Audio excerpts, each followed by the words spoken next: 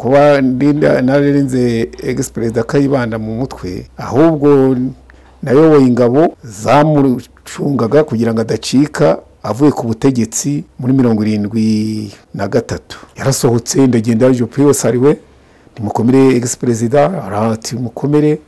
Nibwo amaze agati wanyu ni hehe? Ni wacu ni mu ruhengeri. Uri nturi inkotanyi ati ni njyewe wari wayoboye majoro nyirigira. Ntereka nkingure ndebe kuri inkotanyi.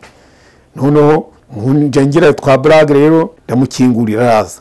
Komune se uri umusore finyore? Ubundi ko bavuze ko inkotanyi zigira ibitwi bitendera? N'imirizo ntihindukira ndebe ko ufite umurizo. Jenali karake avamo ireteriyetona nuko araza arandamutsa ati muri aho ntego? Nagiye kubona akoze mu mufuka amuhaye dorari ati rero nk'umunyarwanda nkawe ukunda abanyarwanda. Nutera nimugoroba ugenda unywa agacupa.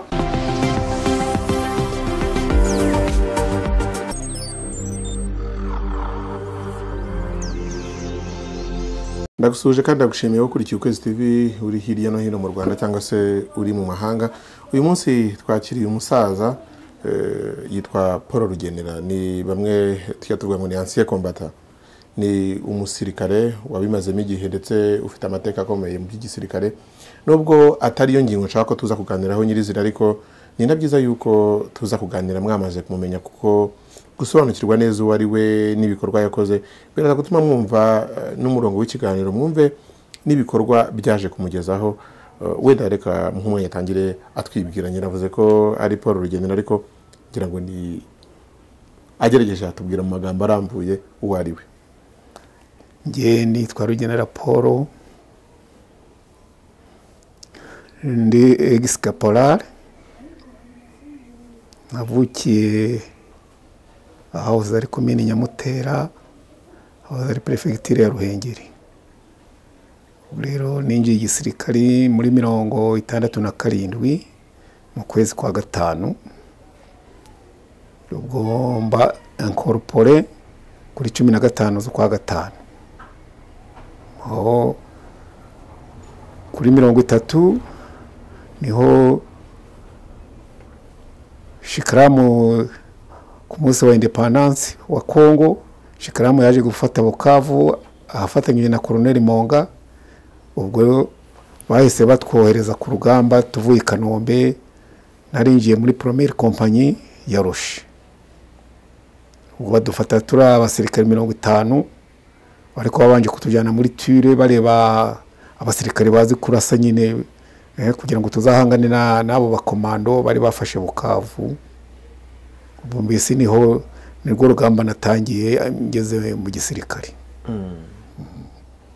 Nyuma ariko amakuru avuga ko waje no kuba mu mutwe w'ingabo zarindaga perezida. Kuba nararinze egisi perezida kayibanda mu mutwe ahubwo nayoboye ingabo zamucungaga kugira ngo adacika avuye ku butegetsi muri mirongo irindwi na gatatu ubwo ni cya gihe yarafungiwe hari i kabgayi igihe yarafungiwe i kabgayi yaravuye ku rwerere ubwo baza kugira ngo nyine ngo afungirwe ku isambu ye no muri abitasiyo ye. Cyane ko yavuye ku rwerere aje kureba umudamu wari umerewe nabi wararwaye yenda kwitaba imana ubwo kuko yaje kwitaba imana ubwo mbese aramuherekeza n'ubwo yari ashinguye mu gikari cyiwe. Bishobora no kayibanda nubwo yitabye imana ntahari ariko nawe ariko ariho bamushyinguye. Yitabye imana adahari gute kandi ari we wari ushinzwe wari ukuriye ingabo zamurindaga? Nari nkuriye ingabo ariko icyo gihe yitaba imana ntabwo nari mpari nari naravuye igitarama kuko igitarama nahavuye muri mirongo irindwi muri mirongo irindwi na gatandatu mu kwezi kwa cumi bampa mitasiyo ku kibuye mvuye muri conseil de discipline mu rukiko rwa gisirikare. Mu rukiko rwa gisirikare waragiye kuburanayo nari nagiye kuburana kubera nyine aferi yabaye nyine ku egisi perezida kayibanda kubera sergent gashira nari ngiye gusimbura ari samudi nsanga yadeparashije rofisi kayibanda yamujyanye kwa muganga kubera ko we yari afite uburenganzira bwo kujya kwivuza. Nuko ruserija uriye kugira ngo wenda muhe abasirikare bo bamujyana we yafashe inisiyative aba ari we umwijyanira bo bavuye kwa muganga banyura ahahoze ari kuri tarafipuro hariya za kamazuru. Eh, ku kamazuru. Ngo hari umugabo witwa sarihe yari afite butike habamo n'umugore mwiza ubwo bahageze nyine ngo ba- bafata agacupa. Muri uko gufata agacupa wari ukuriye iperereza igitarama arahabasanga ahabasanze we ntiyafashe ko wenda araba umuntu uri kwifatira agacupa nk'umusirikare usanzwe ahubwo we yahise atelefona rizinde ati Gregori Kayibanda yaje gusindisha abasirikare kugira ngo abone uko acika. Ubwo rero ubwo komanda w'ikigo ubwo ba- bahise nyine rizina mutelefona yaraje dashefu bapfa ku rurimi ni we wari wasigariyeho komanda w'ikigo kandi ko yari yagiye muri konji. Nuko ubwo aravuga ati se abasirikari ko bose bari ku- iposita ati ndumva yaje kubasindisha sati kayibanda. Ubwo mbese arabyihorera azi ko ibyo bidashoboka. Ubwo saa kumi n'imwe hafi saa kumi n'ebyiri nagiye kubona monoro serija azanye az- azana uwo ntigashira azanye piyo cyokora basomye agacupa biragaragara nuko ndambaza serija nti se iyi ko ari we wamwijyaniye kwa muganga? Mukaba mwanyuze mwageze- mwasi- mbona mwafashe agacupa? Kandi nti abasirikari bawe nahise mbohereza de- nakoranye na rumize kaparajwe wawe imodoka nayohereje n'abasirikari bawe. Ubwo rero ni ukwirwariza ukareba ukuntu wa- wagera mu kigo. Ubwo ndareba bitewe nuko nabonaga yari yafashe agacupa mfata umusirikari aramuherekeza aje kumufatira imodoka ku muhanda kuko ayibanda yari atuye hejuru ya kaburimbo ikavumo Nuko baragenda umusirikare aramufatira imodoka imodoka imugeza ku kigo. Akigera mu kigo asanga suze ofisiye dinite yamwiteguye n'uwo komanda ahita shefu bapfa ku rurimi bahita bamujyana kuri raporo nta kindi bakoze. Yahise avuga ati kuramo imyenda. Aje kwambara imyenda ye ya, ya sivile. nuko abasirikare baramu- baramushorera bamujyana muri gereza gitarama ubwo afungwa gutyo. Ubwo ngewe ndakomeza iposita yanjye ndakomeza ku n'abasirikari bibaye nko kuwa kabiri nagiye kubona mona ahida shefu nanjye araje ubwo azanye uko inaba ati rugenera ati kubona ntigashira ruserija adeparasa ofisi kayibanda akamujyana kwa muganga ntube warabinyohereje muri konsinye ngo ubimbwire ati ubwo mwari mufatanyije. ubwo mwari mufatanyije nabo ba- mwari mufatanyije. Ndamubwira nti ntose ajida shefu nti uriya muhungu wa kayibanda ntabwo ari pirizoniye kimwe na se. Afite uburenganzira bwo kujya aho ashatse. Ntabwo ari ngombwa kugira ngo ndansenye ko yideparashije.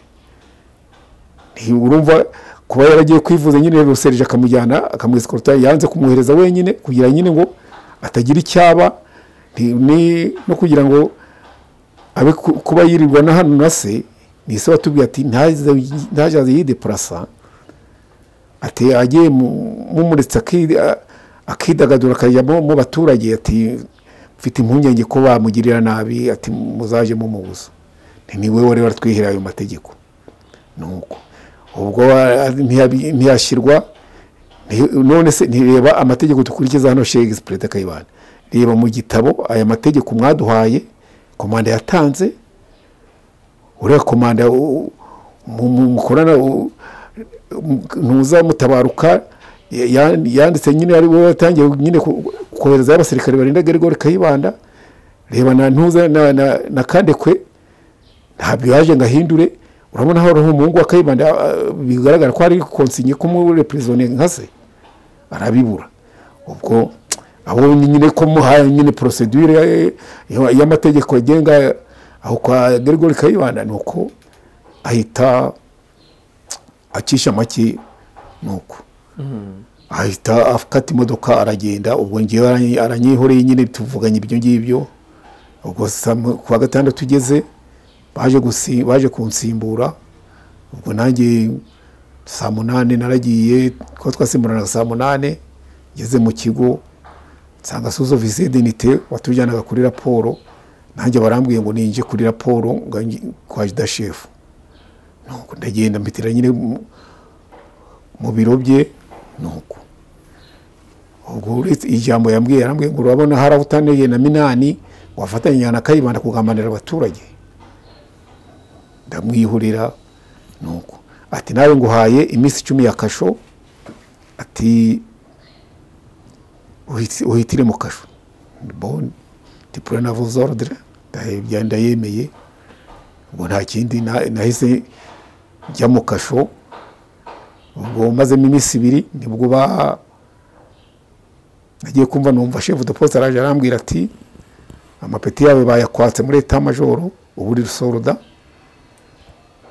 Ikindi dore bohereje imodoka yo kugufata ngo ikujyane i kigali. Ati dore imodoka yahageze. Nuko ntibosava ndagenda mfata ibikoresho bya gisirikari rokipoma ndabi- ndabipakiye imodoka iranjyanye n'i kigali. Nza muri ka kigali. Ariko ubwo muri bake wagumye uri umusirikare uretse Eh, bakatera nari umusirikari Eh, ubwo naje kwi- kwiperezanta nyine muri muri ka kigali ndi mpa- bageze kuko nagomba kwi- kwiperezanta mitasiyo yongera avuga ko ngomba kwiperezanta mu kitwaga ngo et- proto eta majoro nuko ndagenda nshakisha aho intuza za buroke zabo ziri mpageze nshaka serija do somene nuko mubonye ndi- perezida bayi- bampaye imitasiyo hano mu- muri kije bayitaga kije. None nagira ngo unshakire aho ngomba kuryama.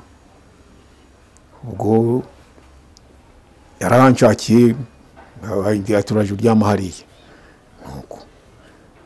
Ubwo mwereka nyine ntuza orudere bari bampaye ati ubwo uje muri disipurine ubwo mpamaze gatatu nagiye kumva numva ara- arampamagaye ngo ejo uzitaba mu rukiko rwa gisirikare muri conseil de discipline ngo muri eta majoro Nuko nditegura ntera imyenda ya toni twambaraga tugiye kuburana nyine toni de nuko ugenda yambara kuri uwo munsi.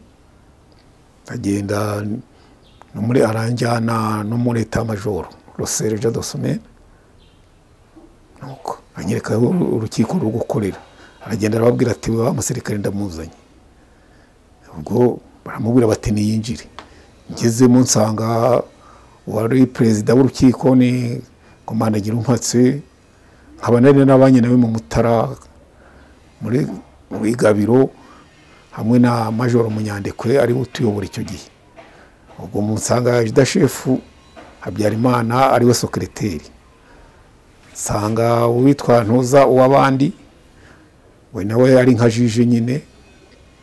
Abo bantu batatu ari bo bagiye kumuranisha ubwo ashinjwaga ibihe byaha? Ubwo banshinjaga nanjye ngo ngo ava ngo ngo aho- eta che- eta chef de poste chez ex président Kayibanda. Ngo avoir autorisé l'office Kayibanda pour aller consommer dans le cabaret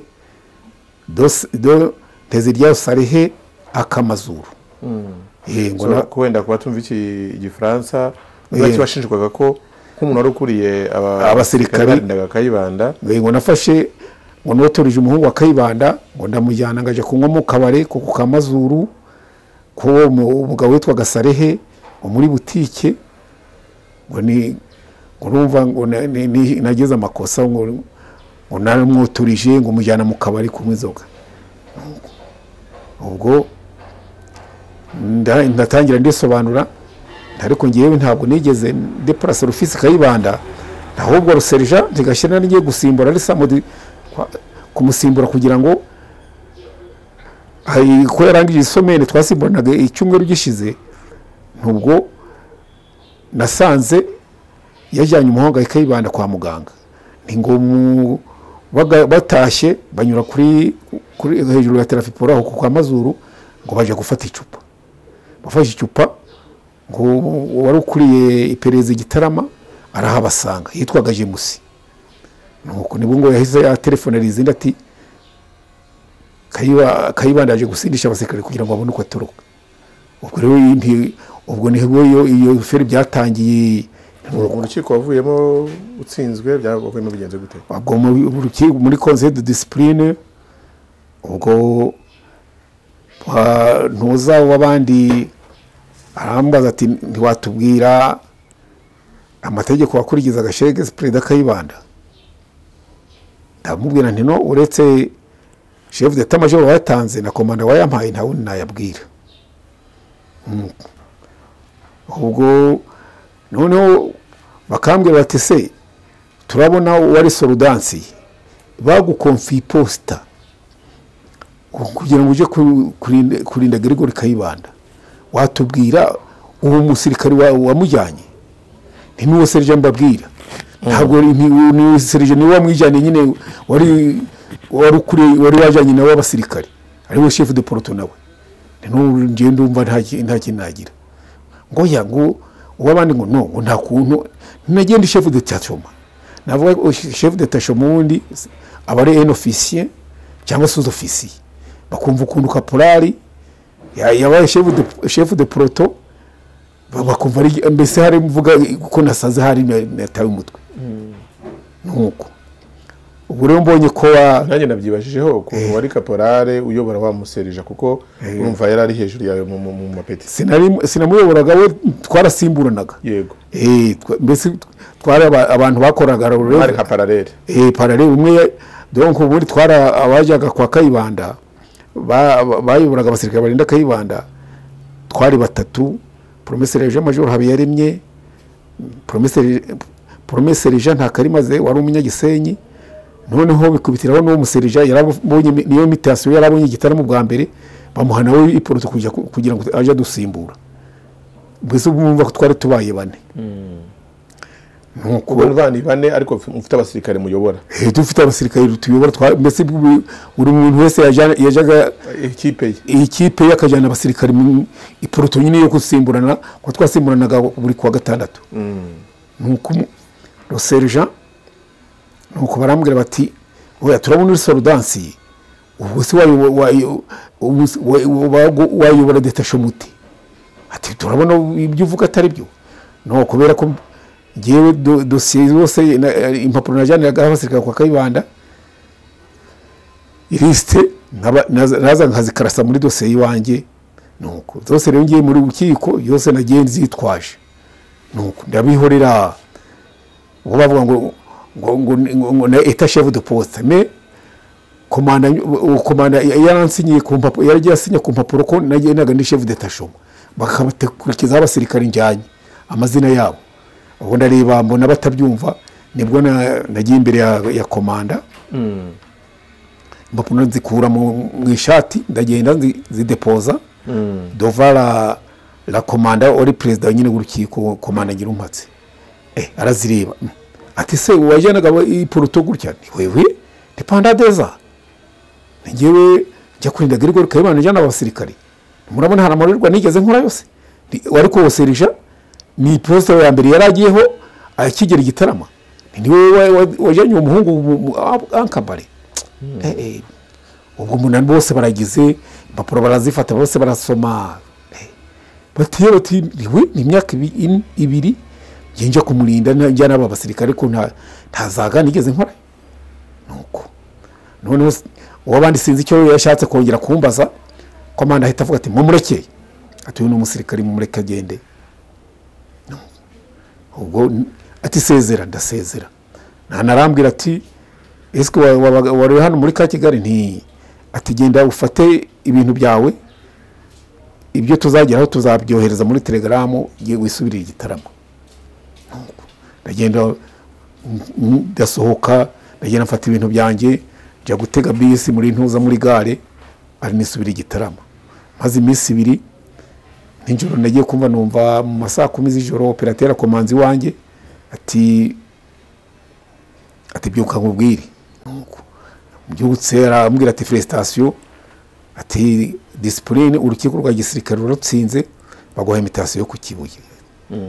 Eh, ati ubu niyo baguha imitasiyo ariko ubwo nubwo watsinze ipeti ryawe wakomeje kubaho utarifite no amapeti bari barayanyatse ba- bohereje telegaramu nkiri igitarama mu- ndi mu kasho amapeti ba- ba- barayakuyeho Eh, bohereje telegaramu inyambura amapeti.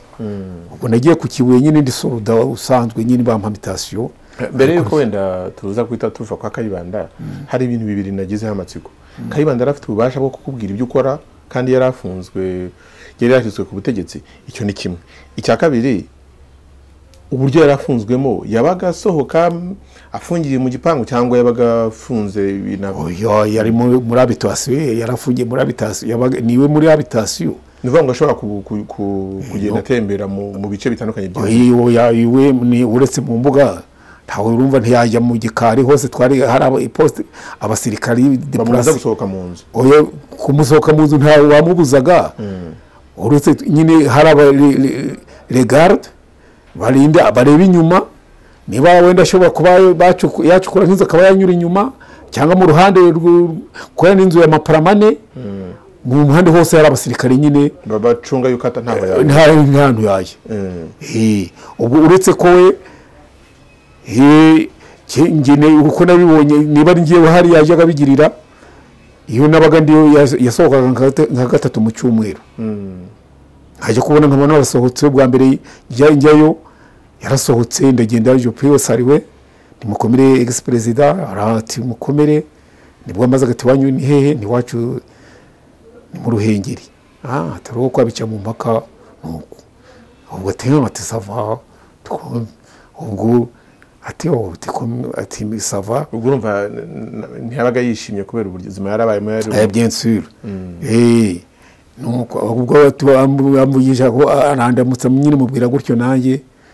Ubwo kubera yabaga ari kwi- ari kwisomera digisiyoneri azenguruka no mu biti bye harimo amapera za ibiti bya keredebefu nuko harimo agacucu akazenguruka yambaye kositimu noneho yamara kugira nk- nk'iminota mirongo itatu cyangwa hafi mbese nk'iminota mirongo itatu ari gusoma nkabona arasubiye mu nzu arakinze akosingira akisubirira mu nzu. Mm. urabona umukuru w'igihugu afite uburyo yitabwagaho. Aho se yitabwagaho gutaha yabaga kurya siporo zubwo ntiyazikora hanze kuko ntiyashobora kuva mu- rugo. Ibintu byose bikoraga aho ngaho. Eh, yagaburirwaga nande ubwo? yabanaga n'umuhungu we.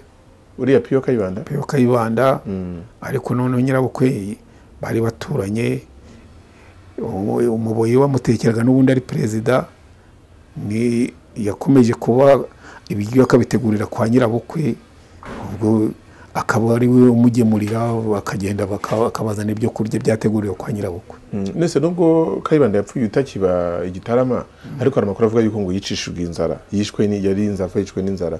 Wenda by'ubwo byaba ari byo wumvise kuko byabaye utakihaba wowe ibyo uheruka yagaburirwaga no kwa nyirabukwe wari utuye hafi aho ngaho hari ikavumo ariko se ibivugwa ngo yaba yaricishijwe inzara aho yari afungiye byageze aho kumugaburira birahagarara yicishwa inzara. Nawe warabyumvise? Nanjye narabyumvise cyane ko nyine muri icyo gihe mvuye mu rukiko rwa gisirikari nasanze bagenzi banjye nyine bo bakomeje bari basigaye mu kigo bakomeje ku- kujyaho kumurinda Ba- barantekereje barambwira bati ubu bintu byarakomeye. Hari ya nzira yari igiye kwa nyirabukwe bamugemuriragamo ibyo kurya ubu barahafunze barahakorotiye ba- barahubatse. Eh, ati nta muntu uki- ukigera iwe? Ati niki byose? Niko bambwiye bagenzi banjye nyine nari nsanze mu kigo. Simbizi rwose imibereho ati ikimutunze. Ubwo rero ndavuga ibyo ari byose nturumva niba atakibona i- rasiyo yavaga kwa nyirabukwe aho batekeraga se ntirumva atazicwa kuko n'inzara nanjye nari mbitekereza ariko na mbere ngo ibyo bamuhaga mbere akigaburirwa n'aho ngaho ngo byabaga birimo umunyu mwinshi cyane. Hari icyo ubiziho byaratekerwa kwa nyirabukwe n'umuboyi. N'umuboyi wa musaza wamutekeraga ari we wabitekeraga Ara- urumva se ari kumutekera umunyu? Nono kandi urebye kayibanda nta- burwayi yigeze agira muri iyo myaka yose na- nabona ntiyigeze. Avuga ati "Mu- ndasaba munsabire uruhusa nje kwa muganga. Iri tujuru uri umusaza wikomereye. Nta burwayi yagiraga. Eh, ubwo rero ni- ariyo mpamvu nage- nageze ku kibuye nuko komanda ukurikiye yezu yari komanda icyo gihe numva arampamagaye yubira ati wa musaza warindaga ati yitabye imana. Uriya musaza mu gihe twamaranye mu mezi abiri mvuyeyo yaba yishwe n'iki. Ubwo rero nanjye nahi- nahise ntekereza nti iri pariko nawe nyine bamwicishije inzara mu mezi abiri nta burwayi yagiraga yari injegi reka twikomereze. Twageze ku kibuye ugeze ku kibuye uri soruda ukomeje mu gisirikare. Igisirikare waje kukivamo ryari nyuma ubwo icyo gihe na muri mirongo irindwi na gatandatu nyine ni ho banyatse mu mapeti mu kwezi kwa cumi. Ubwo ndakomeza igisirikare nagomba kukirangiza mu kwezi kwa kwa gatatu. Irindwi na karindwi nuko ubwo ariko mu kwezi kwa mbere uzarangiza hasigaye nk'amezi abiri barakubazaga bati ese ubona uzongera gufata indi kontara ubwo komanda ukurikiye yezu arampamagaye yo biro ati twubona igisirikare imyaka yawe izarangirana no kwa gatatu ese uragira ngo urashaka iri- kugira ngo tuza guha indi kontara ntoya navuze ko mu gisirikare ntazarenzamo imyaka cumi ngomba gutaha undi atoya turacyafite ingufu ati turacyagukeneye ati ugomba gufata indi kontara ntoya oya oya ndamuhakanira ndamuhakanira pe kandi ni umuntu twari twarabanye ni wumva nari narabanye na wewe muri kompanyi mutara. Kwa majoro munyandikwe nawe atuyobora. Aza no kuntegeka i nyanza ambere ya chef de peloton nti rwose ndimo komanda ntabwo nzarenza imyaka cumi ni- niyo ntego yanjye. Undi ati "Ahu- rwose atihangane ufate indi kontara ati mungiye kuko sabira amapeti yawe kuko turabona baraguhana guhera icyaha? Nyuma y'amezi atatu ati ngiye kugusabira amapeti yawe bazayaguhe. Ntoya iby'amapeti byihorere abonye ndanze. Ubu yahise atumizaho madamu wanjye ko nari mfite madamu namutumizaho biro ati ntiwagenda ukamuhendahenduka. Agafata indi kontara rwose ko gihe. Eh, eh, cyane. Ati rwose ati agafata indi kontara nuko madamu aravuga ati yambwiye ko atari mu buzima ananshaka tushakana. Yambwiye ko atazarenza imyaka cumi mu gisirikare. Ati buriya ni ni intego ye ye- yihaye. Nuko, ubwo undi ati sava. Nuko ni- ubwo mu kwezi kwa ndagomba gutaha 31 marisi kuri mirongo itatu n'imwe z'ukwa gatatu. Noneho icyo gihe u rwanda bari bafatanye ibibazo n'intuza n'uburundi bavuga ndetse bo bari hafi kurwana ubwo ni ho ba- bavuze bati aba basirikare bagomba gutaha mube muretse tubanze turebe aho ibintu byaherera. Ubwo kwa kane ndakubaramo no kwa gatanu ubwo bigeze mu kwa gatandatu babonye nyine bicogoye ni ho bampaye imodoka injyana sirira korine ubu uratashye bandatashye kuva icyo gihe ubwo wakoze iyihe mirimo ubwo nyine ngeze mu ntuza mu giturage ubwo nibera aho ngaho n'abaturage gusa nagiye kumva numva hari umugabo wacu wa- wari waravuye i gatanga wakoraga muri mine ya rutongo ni bwo yaje kundeba ati esike ati wavuye mu gisirikare? Navuye mu gisirikare. Ati none hari ofure ya, mine ya rutongo iri muri fonction publique bashaka nibura ngo bashaka abantu abasu- abasuruveya bagomba kuza kurinda mine. None ko kandi barashaka babaye abasirikare. Ntiwazajya kwiyandikisha kuri ofure nawe ukaza ku- ku- ku- ukaza kurinda mine.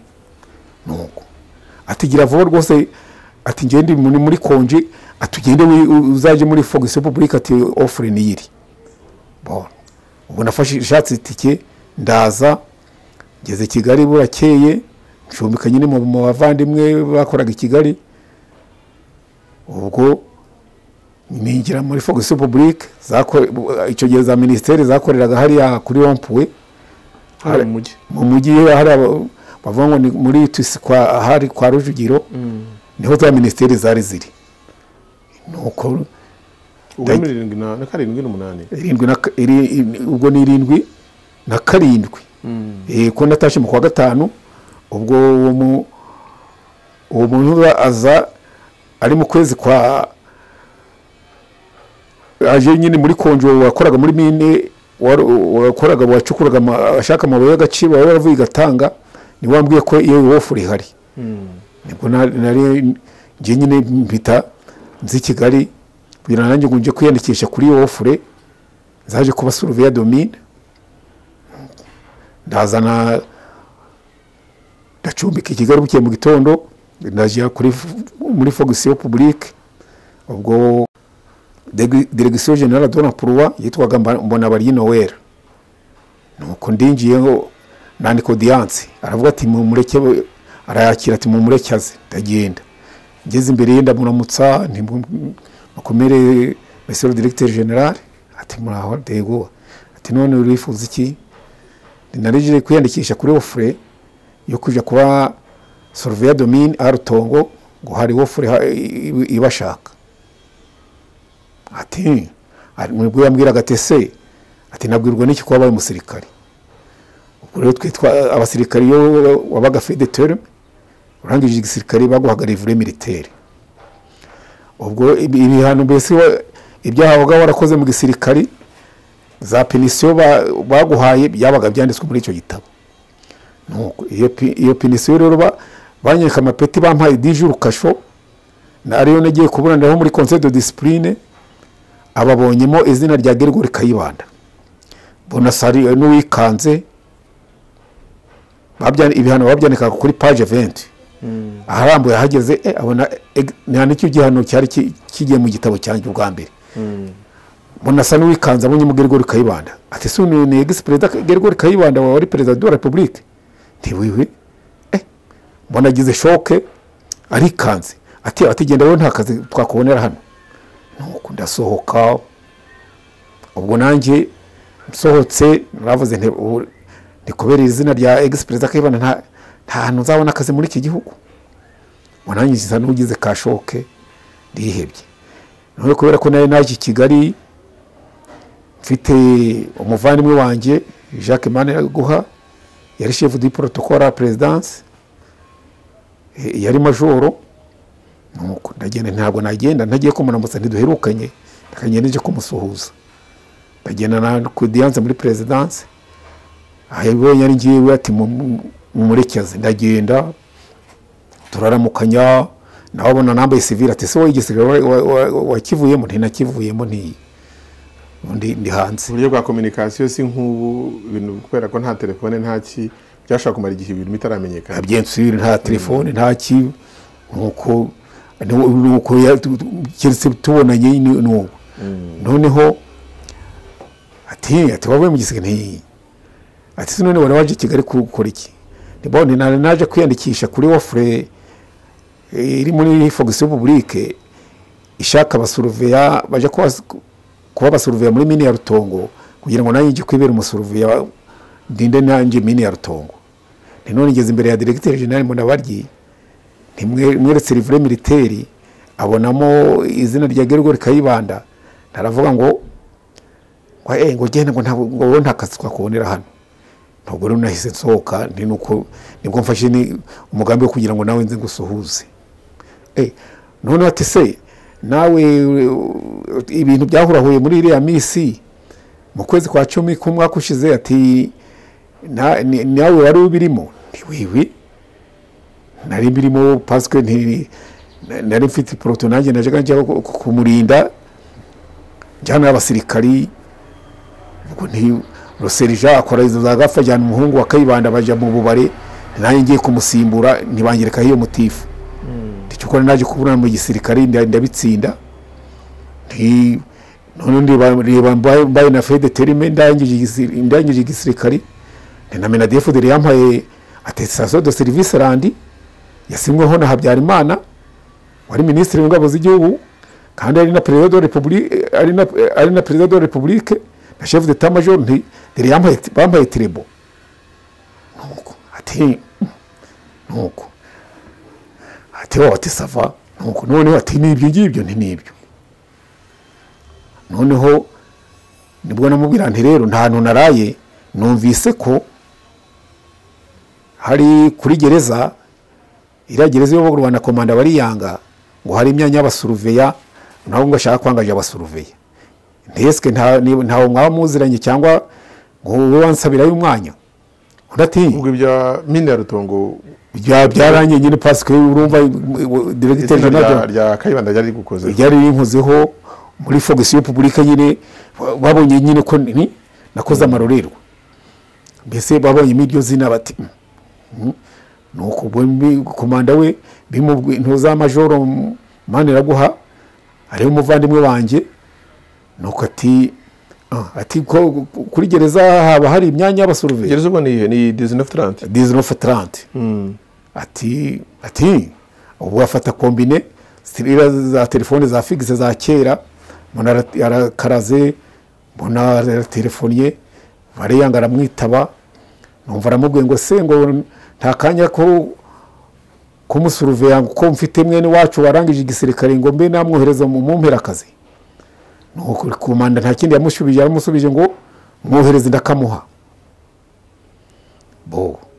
Noneho undi ah, ahita ambwira ati eh ati ah, umwanya arawunyemereye ntegereza ko yambwira ati ngaho genda arawuguha.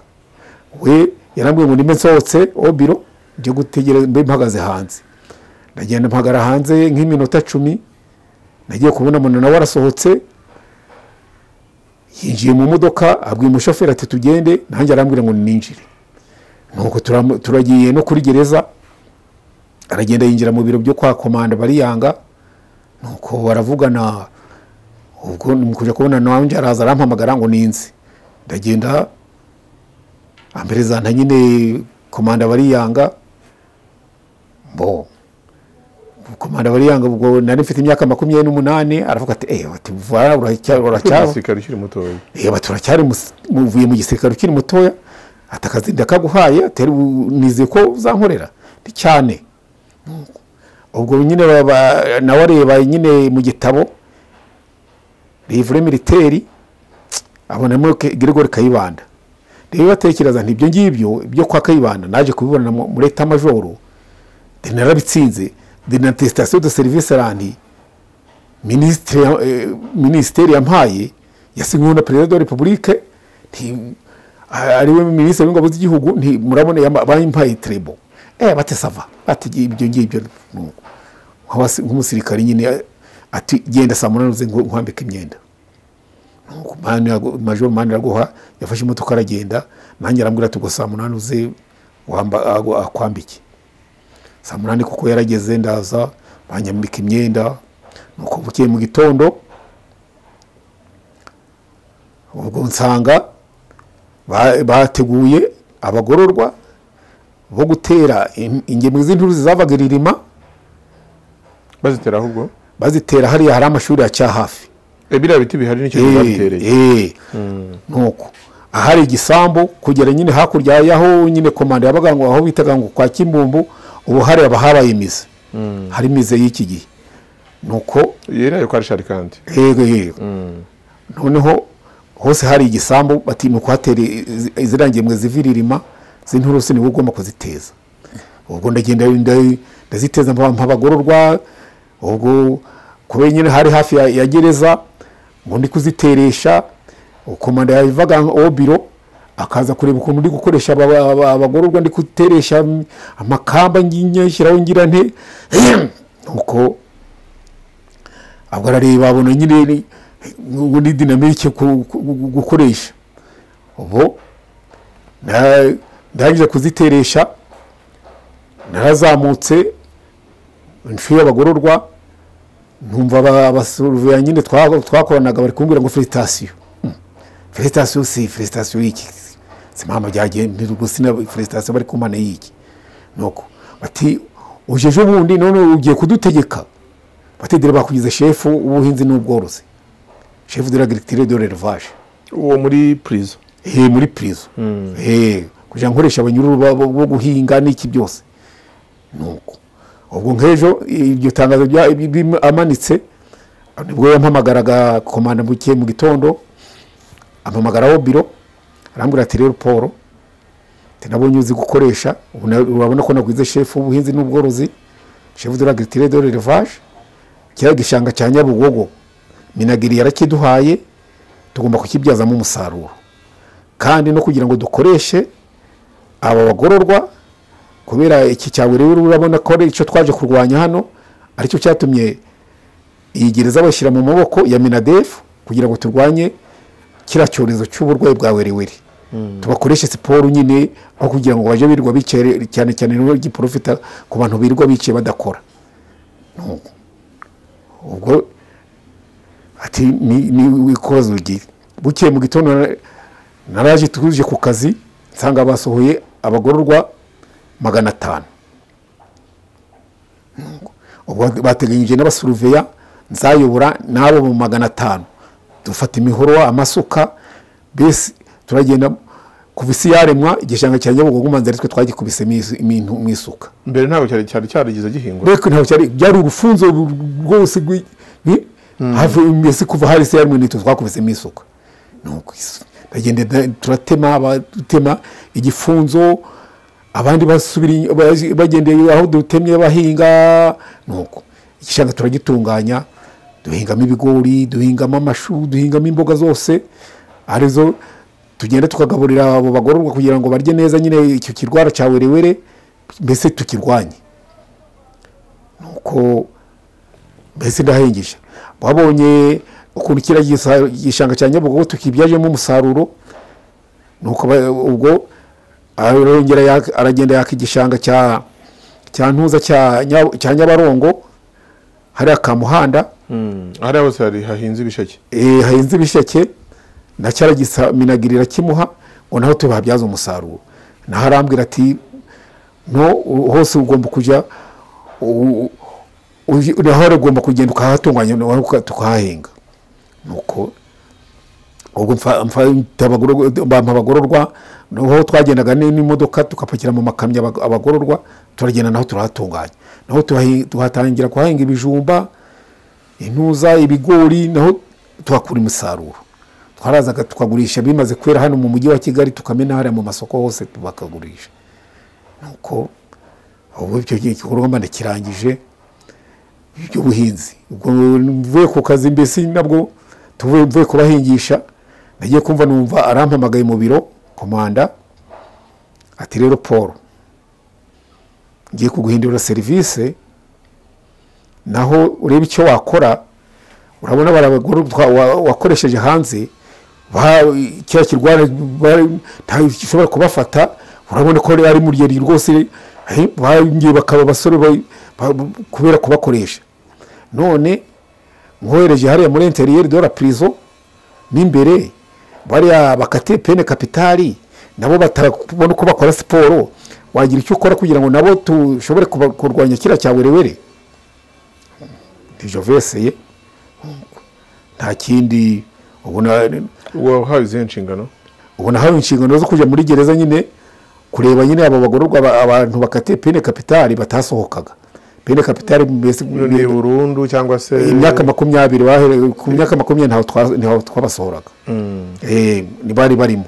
Kandi noneho intego ari ukurwanya icyo cyorezo cya werewere cyafataga abantu badakora badakora birirwa bicaye. Nuko ati naho wakoresha uko ushoboye ukagenda ukaba wagira icyo ukora aha interiyeri de la prison bariya birirwa bagize nabo ukareba ukuntu nabo babakoresha ntuza siporo ba- bakagira.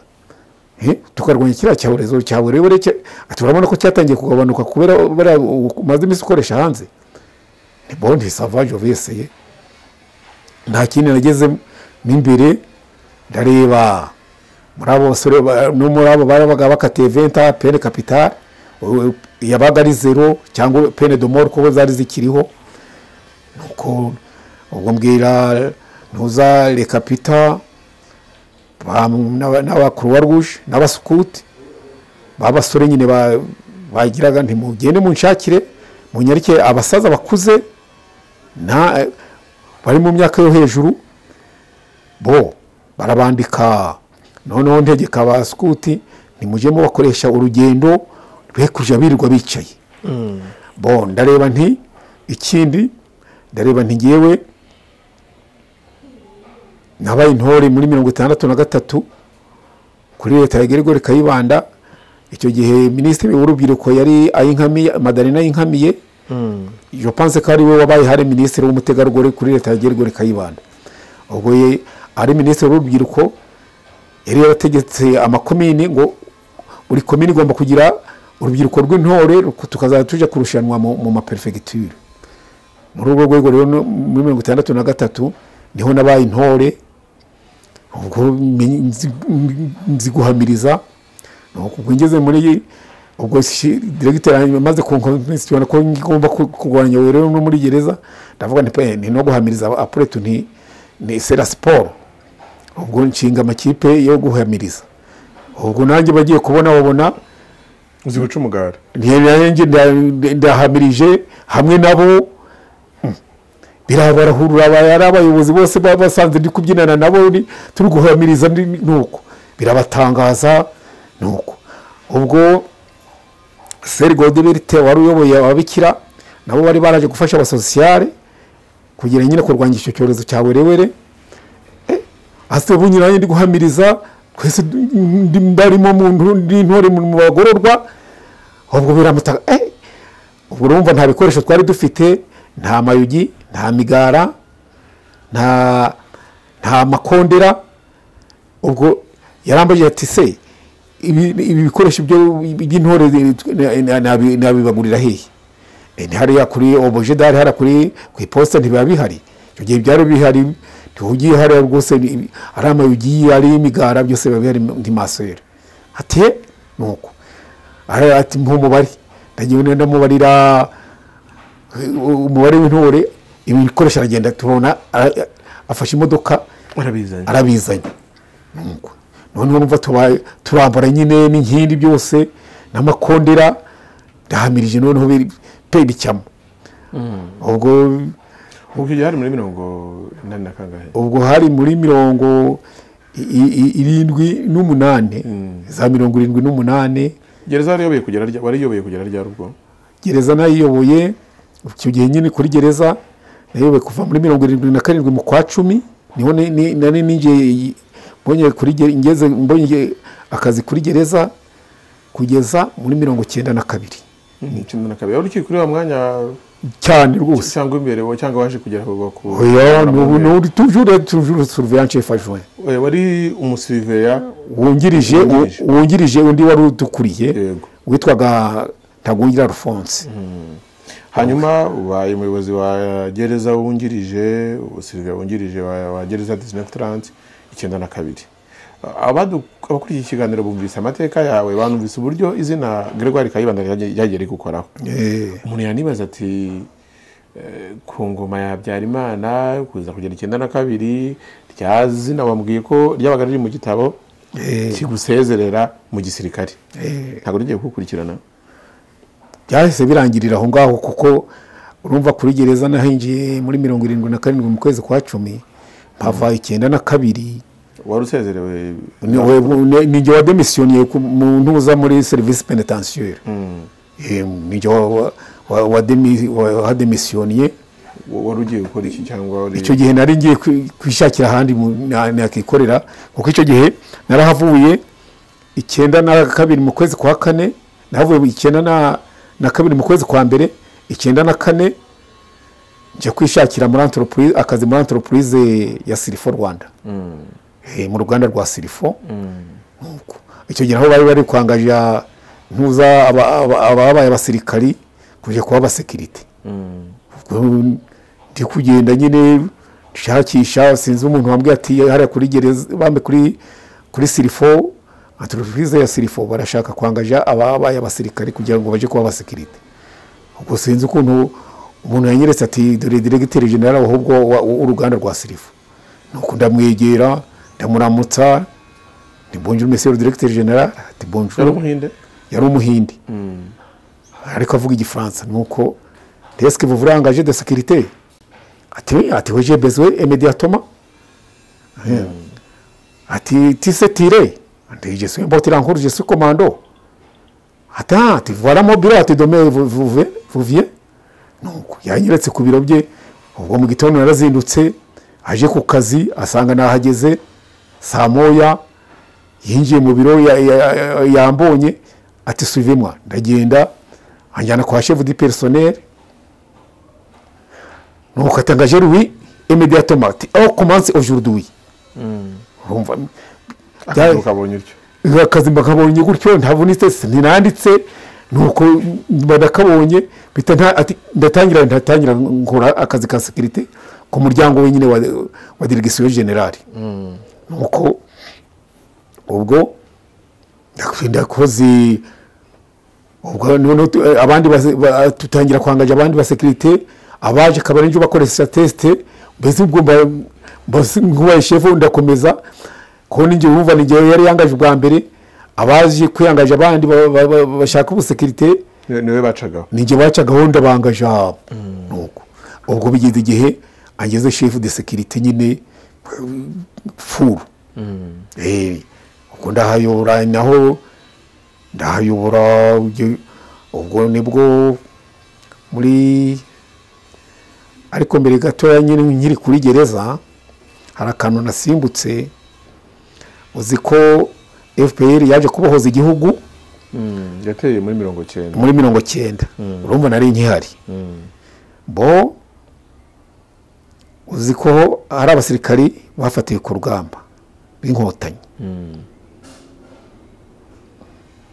Noneho bara- urumva barabafashe ahantu babanyujije muri za hehe babakorera torotire mbese babazana barabakoreye iyicarubozo babazana kubafungira muri gereza muri gereza dizonofu taranti me urumva ko njye nari shefu nyine nanjye mu bantu baparitisipaga kujya kugaburira nyine abantu bo mu kasho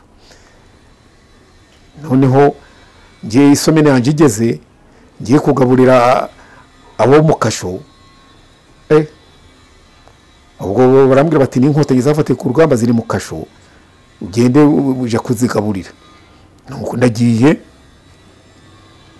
mfungura nyine za kasho nsanga abantu bari gutaka retupure do muriro umuntu batari wari muzima batari barakore batarakubise uretse ko bari baramucireho imyenda ngo ni majoro nyirigira wari ubayoboye. Navuganaga nawe ngi- ngiye kubakingurira. Ndavuga ndamubaza ndetse ubundi abo bataka byagenze bite? Ati baje barabakoreye torotire ati mbese bafite ibisebe byajemo inyoti ndetse kuki abaza kubagaburira batabavuje ngo baraza bakajugunyamo ibiryo gusa bagine ngo nta nubwo batuvugisha. Nuko ndam- ndam- aba ari we mbanza gukingurira reka nkingure ndebe iyi iyi nkotanyi uri nturi inkotanyi ati ni njyewe wari wayoboye majoro nyirigira. Hmm. reka nkingure ndebe kuri iyi nkotanyi noneho ngira twa burage rero ndamukingurira araza. Komene se uri umusore finyore? Ubundi ko ba- bavu- bavuze ko inkotanyi zigira ibitwi bitendera n'imirizo ntihindukira ndebe ko ufite umurizo. Noneho araseka. Noneho abandi bari bari indembe batakaga mbese n'akuka bari bafite baraseka. Rero niba ari wowe nkotanyi yari bayoboye ndabona udafite umurizo udafite ibitwi bitendera Ntabwo- inkotanyi bambwiye kugabura ntabwo muri inkotanyi. Ubundi batubwiye ko inkotanyi zifite imirizo zikagira n'ibitwi bitendera none ko ntabyo ufite. Komo none umujene finyore kimwe eh, nanjye wenda nubwo nshaje ariko ndabona uri umujene finyore. Agaseka ati none siri bavugaga ikinyarwanda. Ubundi nta- nari nzi ko n'inkotanyi mutavuga ikinyarwanda. None ubu uri kuvuga ikinyarwanda. Ati rero ko ndi umunyarwanda nabuzwa n'iki kuvuga ikinyarwanda? Nuko ndakingura ndeba n'abandi bari ba- ba- ba- bari gusambira aho ngaho nyine ku dusima aho bari bashize mu kasho. Ndeba ndeba. Ndangije. Barabafunze ukwabo. Buri muntu nyine aba afite ka kasho bari bafungiyemo. Nuko ndareba nti ndasubira ndakinze. Mbonye nyine gravite y'ubu y'ukuntu bameze. Nta kindi nakoze naragiye ndadafunze. Noneho mbwira abari ba- abazanye ibiryo byo kubagaburira ntimubisubizeyo. Ntimubisubizeyo. Ndigendeye. Ubu nta kindi njye nari ngiye. Kuki wavuze ngo bisubizeyo? Nawe si bisubize nti- ntago- nta- njye sinshobora kugaburira abantu ba- badashoboye no kubirya. Nimwe mubisubijeyo. Mbwira abakuru b'uruje nibo babizanaga. Nimubisubize ara ku izine bo nta kindi nakoze ubwo maze kubona iyo garavite yabo ko bagiye no gupfa gupfira mu kasho naragiye ninjira kwa diregiteri yarari shefu barakengera. Ndakomanga obiro. Ati wi paul ndinjiye Mu- mu- mu kiye- bya gisirikare ko numva yari umusirikare. Nuko ati bite? Ajida shefu biriya bintu urabizi. Ati biki paul? Ziriya nkondanyi zafatiwe ku rugamba kuba zizanye barabakoreye turutiri bara- barabishe none bakagiye gupfira mu kasho. Urabona tutazabibazwa. Mm. paul ni byo ntiwi ni byo nta kindi nawe yabaye shoke ahita ahaguruka ajya gushaka ahamagara diregiteri ajuwe wari umwungirije afashe umudamu umukuru w'abasosiyare ko no muri izo nkotanyi zari zafatiwe ku rugamba harimo abakobwa babiri urumva nabo ntibagirirwaga isuku muri icyo gihe nuko baraje ndakingura mwereka mwereka nti do dore abantu ba- ba- bagiye gupfa uko bameze. Nuko. Noneho nawe yahaguye ari shoke aragenda atelefona ahita telefona minisitiri w'ubutabera wari mujyanama teoneste na komanda bariyanga atelefona sagatwa muri perezidansi na dogiteri sebuharara. Nuko bose baraza barahahurira. Ubwo minisitiri nta kindi ba- baraje ndaje kubakingura mbereka nyine ukuntu abo inkotanyi zimeze babo bagiye gupfira muri za kasho. Nuko nta kindi bakoze. Ubu bari hamwe na dogiteri sebuharara. Dogiteri sebuharara nawe yazanye ambilanse na, za burankari barazizanye bareba abafite gravite bagomba kuvurirwa CH ikabashyira kuri burankari aba abandi bagomba hari ka dispensaire muri gereza baje kubapfukira muri dispensaire muri gereza. Nuko icyo gikorwa mba ndagikoze nuko baragenda inkotanyi nyine bazijyana CH barazivura bo nyine ba- ba- bavayo bakize abandi bashyizeho amasima iki byose icyo gikorwa mba ndagikoze ubwo rero hari abantu bari bafunzwe mu byitso. Ubu urumva ibyitso byo byafashwe ku itariki ya kane z'ukwa cumi. Ni uko babona icyo gikorwa nkoze mm, baravuga bati se uriya musuruveya ateye ate? Bite ntibyumvikana. Bose bi- bibabera igitangaza ikintu nkoze. Nyine nkabivuga ba- minisitiri bakaza aba bategetsi bose bakaza nuko icyo abanyu- abagororwa bari banzi ba- ba- bari bamazemo igihe muri gereza baturiya niko ameze baturiya ntashobora kwihanganira umuntu ugirirwa nabi aturiya niyo dukoreshe- eh, arumva ibibazo byawe. Aragira ati "Nte- ati nta nabi. Hmm? ati uriya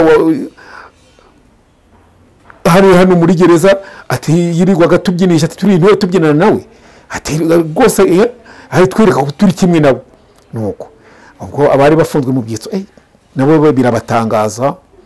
Ubwo ariko bari benshi icyo gihe. bari benshi cyane eh, bari benshi. Iriya gereza rero hafi nk'ibihumbi bi- binga- bingahe? Bitatu birenze bingahe? Nuko ubwo icyo gikorwa ngikoze noneho ubwo icyenda na kabiri nyine ni byo nakubiye ni byo navuze nti nararebye numva akazi ko gukomeza gukora mu magereza ntereka kwishakira ubuzima hanze. Byari bifite isano n'ibyo bintu wabonaga icyo gihe? Ku- kumva na byo narabibonye ndetse abanyarwanda ngiye gukoresha aba- aba- aba- abanyarwanda bavuga ngo ni ibyitso ngo ni iki? Abanyarwanda twirirwanaga ni ibyitso by'inkotanyi gute? No ni- abi ngiye mbivuyemo ntigiye jove ngiye kwishakira imibereho hanze. Ubwo ni bwo nyine nagize chance ngeze kuri sirifo akazi mba ndakabonye. Memu urumva muri uku- ndi guko- ndi aho kuri sirifo ndi umusekirite kuko umuhindi yahise aje kundodeshereza imyenda hari umuzungu wadoderaga imyenda y'abasirikari hariya kuri yamaha ubwo nanjye arandodera tu- tuni ya, sekirite nuko. Ubwo rero ibyitso bi- bifunguwe mpeka amaze kubaburanira bafunguwe ubwo hari uwo wari ufunzwemo witwa antroponeri mugabo. Nta kindi yakoze ngo yari aziranye na na n'uriya generale karenzi. Icyo gihe iritereye tona karenzi karake. Karenzi karaki yari mu ngabo z'umuryango w'abibumbye. Nuko. Nta kindi yakoze. Yagiye kumuzana. Ati mwene nje kukwereka umuntu wari umusuruveya wavuje inkotanyi zari zafatiwe ku rugamba. Undi ati ati- wabakijije urupfu ba- ba- bagiye gupfa. Si birashoboka nuko. Ati mwe muzaje kumukwereka. Bawe nagiye kubona mbona uwo mugabo nyine wari ufunzwe mu byitso baraje mu modoka za za loni ansanze kuri sirifu ati dore nguyu. Nuko. Generale karake avamo ireteriye tona nuko araza arandamutsa. Ati muri aho ntego. Ati amakuru ni meza. Ati uyu yakoze igikorwa natwe twari dufunzwe mu twa- twarabiwe uyu muntu uku- ukuntu yagiye kubavuganira tubona ba- babashyize kuri za burankari babajyanye sehashika barabavuze ati ati no? Karake ati ye. Nuko ati uri umunyarwanda ukunda abanyarwanda gutyo? Ntiwewe ati si wakoze icyo gikorwa utabona ko wagiraho ingaruka? Ntoya ni byo njyewe ndengera umuntu njye- nanjye ndi umusirikari. Ndabona umusirikari atabara le persone victime abantu bari mu kaga. Ni kapurari ubona umusirikari atabara abantu bari mu kaga. Nti le persone victime rero nta kuntu na- na- nari kubona bagenzi banjye b'abasirikari bagiye gupfa ngo ku- kubadefanda. Hmm? ikindi kandi ro militaire aho travaille au service de la nation. Ni umusirikare ntabwo nigeze ngira ubwoba rwose bwo kubakora kiriya gikorwa nuko nta kindi yakoze nagiye kubona akoze mu mufuka amuhaye dorari ati rero nk'umunyarwanda nkawe ukunda abanyarwanda nutera nimugoroba ugenda unywa agacupa ubwire na bagenzi bawe uwo ukundishe abandi banyarwanda nk'uko wakunze bariya ati rwose ati icyo kora birantangaje. Akadorari ubu gakenyereyeho dorari ndakavuye ni nimugoroba ndagenda ngiye kunywa icupa. Ubwo bibaho hashize nk'ibyumweru bibiri nagiye kubona umuntu araje ariko ntiyazana nyine azana ni- n'abandi bo muri minwari abazungu b'ikimodoka za loni zihagaze aho ngaho? Nuko araza mbona avuye mu ntuza mu modoka araje nubundi eh ati ati kaporari ati uraho ntego. Ati rega ati nananiwe kubyakira. Ati "Numva- buri gihe numva nahora nkureba umunyarwanda nkawe wakoze kiriya gikorwa. Ya, ntibyari byo ntimo muri etona icyo gihe iretereye tona arimo umugabo z'umuryango w'abibumbye.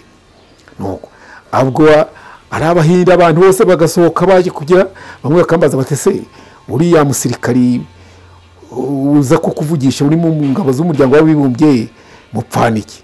Ntese mo peti furere bati ye nti- nti- nawe ntiyagiye kubohoza igihugu ni mu- ni murumuna wanjye. Kwe kw'amahinga nuko ba- bikabatangaza abahindi bagasubira mu biro babonye intuza nuko byageze aho ubwo ubwo rero ni bwo bigeze muri mirongo cyenda haba habaye jenoside iriya yakorewe abatutsi. icyenda na kane. Eh, jenoside yakorewe abatutsi.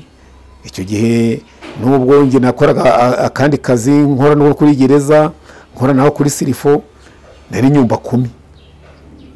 Mfite nyumba kumi nyobora nageraga no hanze abaturage bakantora. Bati nta wundi watuyobora hano du- dutuye. Bati nubwo ako- akora akazi muri leta ariko na hano agomba kutuyobora kuko ni umuntu nyine wumva ibibazo by'abaturage. Ubwo jenoside muri mirongo cyenda ibaye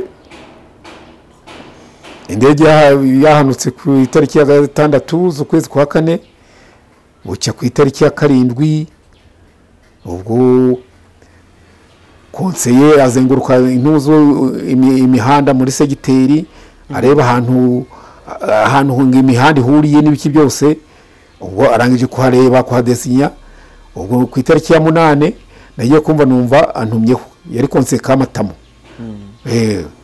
Eh, kamatamo forozi mama forozi bamwitaga mama forozine noneho ubwo antumaho kuko yaranzi ko urumva nari nyumba kumi we azi ko nabaye na chef de sécurité kuri sirifo azi ko nabaye umusirikari ati rero mu- munshakire rugenera ashaka ababaye abasirikari baze bahe imbunda baje kurinda ziriya bariyeri naraye nshyizeho hariya. Aho abari bazirinda nagize nshaka ababaye abasirikari mbona batanu turagenda tujya kwa konseye tugeze kwa konseye nuko urumva yaranze ati rero ugenera ati niba nabo babaye abasirikare nti ati rero urabona ziriya bariyeri naraye nshyizeho twateguyeho za bariyeri zigomba kujya. None ndagira ngo nguhe imbunda bahe imbunda abari mwe mujya kurinda zi- ziriya bariyeri ndamureba ndetse konse. Ni twebwe dufite amategeko atugenga nubwo turi turi abasirikari twabaye abasirikari ariko turacyagengwa n'amategeko ya gisirikare none turafata imbunda mu buhe- buryo tutayihawe na minisitiri w'ingabo z'igihugu cyangwa perezida de repubulike cyangwa minisitiri minisitiri de la defense cyangwa minisitiri w'ubutegetsi bw'igihugu. Ni kuko dufashe imbunda tuka- tukazikoresha ibinyuranyije n'amategeko ya gisirikari twazabibazwa. Niba ai- ai- udafite iyo komunike ngende sinshobora kuyifata. Sinshobora kwica amategeko ya gisirikare ndayazi. Ngo gufata imbunda binyuranyije n'amategeko. Nuko bandigendeye n'abagenzi banjye um, barabyumva bati ni byo biriya shefu avuze ariko ati paul rubigena ni byo koko. Nuko ari ndigendera ubu ndagiye. Ubwo nta kindi ya- ya- ya- yakoze we yafashe za mbunda aziha interahamwe ubwo aba ari zo zijya ku- kuri zo za bariyeri. Mbo njyewe nta kindi nakoze ko nari nyumba kumi. Ubwo mbwira abaturage rero banjye ariyo abatutsi baba muri nyumba kumi zanjye hari n'abahutu ndababwira nti tugomba kurinda umutekano hano mu ngo zacu. Mujye muraza mwicara hano kuri fondasiyo y'inzu yanjye aba ariho turindira umutekano ntabwo ari ngombwa kujya hariya kuri bariyeri. Ni nabwo kujya kuri bariyeri kujya gutangira abantu wenda bazaba bahunga ni na byo mwazabibazwa. Ikindi ba- ba- abantu ba- batangiye kwicana uzica undi hari icyo mwapfaga? Mwari abaturage na- nayoboraga mwese ntimwabanaga neza? Iyo nyumba kumwe wayoboraga ari ahagana he? Hano hejuru y'umurenge wa muhima. Eh, hano kuri hafi kizu cyo kwa kabuga. Eh, nuko ubwo mbabuza kujya kuri bariyeri ikintu mbese icyo gihe bavuze ngo buri nyarwanda wese ngo w'umugabo ngo yitwaze intwaro intwaro gakondo ubwo njye nari mfite icumu rya ferabito nari naracurije muri gereza ni byo nari mfite aho ngaho. Bo noneho bigeze ku itariki ya munane hari umusore witwa kamanzi francois ariko na- izina narimenye nyuma wari muri aho muri nyumba kumi zanjye. Ubwo interahamwe zaje ku itariki ya munane kumuhi- kumuhiga ngo sinzi ngo wari uvuze ngo hari interahamwe ngo ha- hari inkotanyi icumbitse muri hariya kwa rugenera ngo ijya muri kenya ngo nawe ngo imanzi ifite n'imbunda. Bo. Ubwo mu rukerera baraza ba- bakomanga aho yari ari baramusohora ibintu batangira kujugunya hanze ngo bari gushakamo imbunda. Noneho umudamu w'iwanjye yari agiye kwihagarika ari mu gitondo mu rukerera nuko mbona agarutse mu cyumba ati tabara ati baje kwica umuntu uba muri iriya nzu. Nte ngo ni ngo yahita bamuvu- bamufatiye imipanga hejuru bagiye kumwica. Nta kindi nambaye vuba vuba nshyiramo ipataro mfata na rya cumu ndagenda yari iri munsi y'iwanjye nuko nsanga bamwicaje bagiye kumutemagura. Ni umusore nuko. Ubwo haracyariho. Hari ariho cyane afite inkumi yanarongoreye aho ngaho yaravuze ati ko ni ho yarokokeye ubwo byagenze gute icyo gihe warabwiye barumva ntabwo na- narasohotse noneho nsanga nyine bamwicaje mbese bari hafi kumutemagura nuko ni bwo kujya kumva numva abasore bari baje ku- bamwe ku- kumwi- kumutemagura barareba babona ni njyewe wase babwiye ninde wabwiye kuntera urugo eh barebye ngo eh ngo singo ni kwa shefu. Barigendera ba- bamwe barigendera barigendera. Hasigara abagabo babiri. Abagabo babiri umwe yari uwo mu ruhengeri undi ari uwo ku gisenyi. Ndababwira nti niko murabona mundusha gukunda habyarimana? Njye nakoranye nawe. Murabona ko ari byo wa- wabika inkotanyi hano ngo ngo zi- zishe habyarimana? Ndetse eh, uyu- musore w'i Nyanza ucuruza cyangwa hano muri mu- isoko rya nyabugogo? Urababeshyaga Orebye- mbese sinari muzi nanjye sinari muzi neza. Wagi- wagira ngo no na- na- na- narasohotse maze madamu ndetse ubundi uramuzi? Ati "Hey, ndamuzi. Ndetse akora iki? Ati acuruza cyangwa inkweto hano mu isoko. Ngenda ni mfite ko kantu. Nti, uyu musore ucuruza inkweto hano mu isoko? Ni ngo ni ngo none ni inkotanyi ije muri kenya nose niba ni inkotanyi wenda yaba ari inkotanyi ije muri kenya. Ari hano ni wowe waba wahanuye indege ya habyarimana. Nimwe mwese mundusha gukunda habyarimana njye nakoranye nawe nuko barigendera. Nsigana n'abo bene wacu umwe wo ku gisenyi undi wo mu ruhengeri. Ndababwira nti niku namwe muza kuntera urugo. Ni bene wacu. None ngo si wowe umusore urabona ari inkotanyi? Umusore nk'uyu ucururiza muri cyangwa hano mu isoko. Nuko nabo ba- bamwaye bahita bagenda. Umusore ararokoka gutyo. Ubwo na ba bandi bose bo muri nyubako zanjye ari na- na- na- na- n'abatutsi bahungiraga. Bakaza ba- abari kuri bariyeri bacikaga ba- bari kubatemagura bakanyura hagati y'amazu bagasanga abandi bicaye bafite umutekano bakayicara noneho ba- extremistes twari turi hamwe b'abahutu bakavuga ngo none ngo ngo aba batutsi si bari aha ngaha ngo biti ntimubareke ngo none se babasanze hano nzabisubiza. Eh? nzabisubiza. Ba- abantu bakicara bararokotse. Jera shan- jera chance imana yaza kubimfashamo. Mu gihe gitoya nagiye kubona umuntu ahaje liyetona kadansi wari uyoboye ingabo zari zaje kurinda umuhima. Nuko bagiye gushinga bariyeri hariya hejuru y'umurenge ni ho bari bafashe pozisiyo hari inzu nyine banki popirere yakoreragamo ariyo wo muri leta wari uyoboye izo ngabo zaje kurinda umuhima ariyo nzu arimo.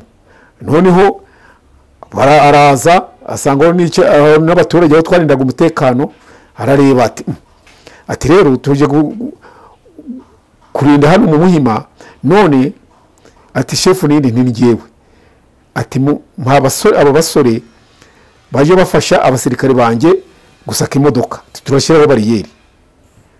Ndamubwira simo leta nti kurabona bamwe abaturage bari kubica nti ntibazanyikira abaturage. Urati babe bicwa nande? Tibaze ti ndahita mbaha imbunda nabo. Bazaba bari hamwe n'abasirikare. Izo ziza- zizaza kubica Nuko, ubwo ndababwira nti arabajyana abaha imbunda koko karishinikovu bo nanjye aba- aba- abantuza aba- abasaza n'aba- n'abagiye bakoze nti ntimuzongera kugaruka hano ku irondo. Mujye mucungira hariya nyine hafi y'abasirikari kugira ngo interahamwe zitazagira ngo zitazaza wenda zikabacyara uruhinga nyuma zika- zi- zikabica. Bakajya bacungira hafi y'aho abasirikari nyine na- bababona. Mu basirikare icyo gihe uwo muri leta yafashe harimo n'abahigwaga? Aba- bose ba- n'abahigwaga. Cyane cyane ndakubwira nk'uwo kamanzi francois. Na- nawe ni we wahereyeho ari umusore ni we ajyana n'abandi kuri bariyeri.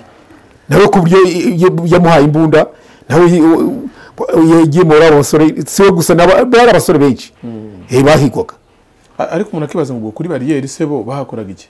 Kuko bariyeri abantu benshi Eh, iyo bariyeri bo leta nawe yaraje arambwira ati mpaba basore baje bafasha baje dufasha gusaka imodoka. Eh, atari izo kwica nyine gusaka imodoka amasasu n'ibiki byose mbese ni muri uru rwego ya- ya- yambwiye. Ndamubaha. So, ubwo jenoside yabaye mu gihe cy'amezi atatu icyo gihe cyose wari uri wari ukiba ku muhima cyangwa wari Eh, nari ndi ku muhima.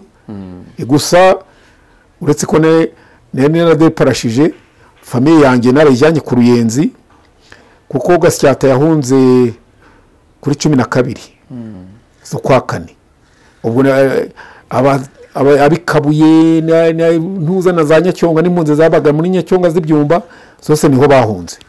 Bo kuri cumi na gatatu ubwo hari amasasu yavaga ijari ariko inkotanyi ziri kurasana n'abasirikare bo mu- muhima.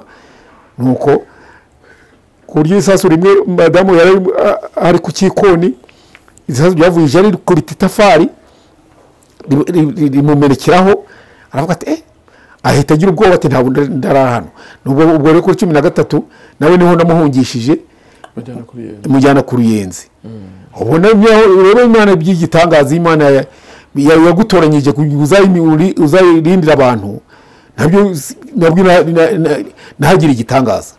Noneho ubwo mpagaze ku muhanda madamu maze kumudepoza ndi kugira ngo nshake imodoka mfate imodoka ingarura i kigali ngewe maze kumudepoza muri famiye nyine aho azacumbika aho acumbika bo ukajya kubona mbona interahamwe ziraje n'amajipe zi- z'igihara. Nuko ziraza. Baraparika. Mbona barasimbutse bavuyemo. Baza bansanga ngo shefu shefu shefu. Ngo kuri hano ntindi hano? Ntinahungishe madamu wanjye kubera amasasu ari kuva ijari ko ntuye mu muhima kugira ngo ama- amasasu atazabica. Ati nuko. Bati batija kutwereka hari famiye yawe uri. Aho iri ndagenda ndamwereka aho madamu ari. Nuko. Bati rero shefu twari tuje gutoranya abatutsi bahunganye n'abahutu hariya mu- muri aya mazu yo ku ruyenzi mu ma- mu mabare yo kwa ba kamana ibyo byose hari aba- abantu benshi. Ati twari tuje gutoranya ati ko harimo abatutsi bahunganye n'abahutu ati kubera ba- baje mu kivunge ati twari tuje kubatoranya ngo tubice. Nuko. Bati rero kubera ko na famiye yawe eh, iri hano. Ntabwo twakora iryo bara madamu wawe atazahamuka umurya- umuryango wa shefu Nuko bati se shefu uratuzi ntoya ngo udukoresha muri gereza waraduhingishije hano muri iki gishanga. Ati ukuntu watugiraga neza. Ati ba- ababyeyi bazaga kudusura ukaduha ubusa tukabonana nabo. Ati shefu bari barimo abari bafungiye muri 1930 igihe bari Eh, nari surveyor, baringisha nyine mu gishanga. Bati ugira neza bati ibintu wadukoreye wadufataga neza. Ati none twari tujya kwica abantu hano ntabwo twakora ayo marorerwa famiye yawe iri hano. Ati kuko ya- yahita ahamuka. Ahubwo nta kindi bakoze baragiye ba- bazana umufuka w'ibirayi bazana umufuka w'amakara bazana umufuka w'ibijumba ngo umugore wa shefu ngo atazicwa n'inzara. Bararunda aho ngaho yari yari acumbitse nuko. Ubu nta kindi nakoze barangije gukora ibyo ngibyo. Urumva nsubira ku muhima ubu njye ariko imana itegura hari abantu ku- kuzarwana ku bantu. Barandi kurwana wowe wenda bazabona ntuza ubwicanyi burangiye. Barokotse uko bageze mu maboko y'abasirikare ntawe ntawe ukibishe. Cyaje kurangira hari abarokokeye aho ngaho? Ku ntuza ku- aho bari bari kumwe na madamu wawe mu bice byo kuri Ruyenzi nyine bageze aho ntuza ba- bageze aho n'ubundi ba- barahava barahunga baza za kabgayi. Eh, ariko uwo munsi interahamwe zari zije kubica ntaho zabishe nyine bahise bongera guhunga bongeye kuhava kuko intuza hari za katyusha zavaga i- rutongo zikaza zikagwa mu- ntuza hariya mu gishanga cya- nyabarongo. Eh, haguye nk'amabomba abiri. None bahita bahava barahunga nyine barazamuka igitaramo rero ngo bari bataratangira kwica by'ubwicanyi barahunga bamwe baza- za kabgayi. Eh, Uh, ni amateka maremare wenda umuntu yavuga mu bihe byasaba igihe kirekire. Ariko muzehe rugenera paul uyu munsi abayeho ati eh, uko mbayeho mbayeho neza gusa natwe ni bwo nyine uvuga uti nyine ibyo byararangiye na jenoside yarabaye ariko natwe tutayikoze twayigizeho ingaruka. Ngewe turi mu ikusanyamakuru muri bibiri na gatanu ku murenge wa muhima nagiye kubona mbona haje umugabo witwaye mu ivatiri araza ati njya gutanga amakuru hano ku witwa rugenera paul yari umusuruviya kuri gereza muri mirongo icyenda mfungwa mu byitso narahageze arankubita anyambura n'amadolari ahwanye na miliyoni cumi n'eshanu. Barabyandika. Ubwo resiponsabure arabyandika kuko uwo resiponsabure rwagasana wari utuyoboye icyo gihe apurere jenoside nyuma ya jenoside uwo rwagasana yari yararokokeye muri nyumba kumi zanjye na shefu de zone bose bararokokeye muri nyumba muri nyumba kumi zanjye ariho barokokeye Mm. nuko. Baravuga bati se uyu muntu eh, waturokoye bati ibyo bintu ya- ya- yaba ya- ya- ya- yaratangiye ku- gutoteza abatutsi muri mirongo icyenda. Ah, bati ntawamye bati se ubundi uramuzi nanjye kuko nyuma ya jenoside nakomeje kuyobora inyumba kumi zanjye narahunze nge- ngeze kuri goma ikongo ndagaruka ubu nkomeza kuba umuyobozi. Ni twinjiye kuri goma kuri cumi na karindwi. Kuri cumi na karindwi nari nagarutse mu rwanda. Nuko nkomeza umwanya wanjye w'ubunyumba kumi ubwo rero muri bibiri na karindwi ni ho imanza zatangiye za gacaca. Nagiye kubona mbona uwo mugabo batwohereza ubutumire wari wandeze muri gacaca. Araje aza ngo ari depite bati ni depite. Yitwaga udahemuka francois. Noneho ubwo aje tuje kuburana azana i- n'izindi ntumwa ebyiri za rubanda ngo bari bafunganwe mu byitso hazamo n'uwitwa habimana joseph muramu wa rando bitaga n'izi hoteli abye ngo nibo baje gutanga ubuhamya kuri ngewe kuko babonye ngo mukubita mwambaro nawe madolari noneho nanjye ubwo nabonye bampaye ubutumire ndavuga nti ibyo ari byose nawe ngomba gushaka abantanga ubuhamya nkatishiriza ntuza ubutumire mu- muri za nkotanyi navuje nandikishirizamo uwitwa gasore paul francis na patrick. Kubera nyine bam- bam- bam- bamaze gufungurwa bari hanze twahise tuba inshuti dusurana muri za famiye bavuga bati ikintu bati tugomba kugira inshuti ibintu wadukora ahantu wadukuye mu rwobo. Tubizi tu- za famiye du- dusurana. Ubwo nanjye bakatishiriza ubutumire nuko. Ubwo nawe njye babaje.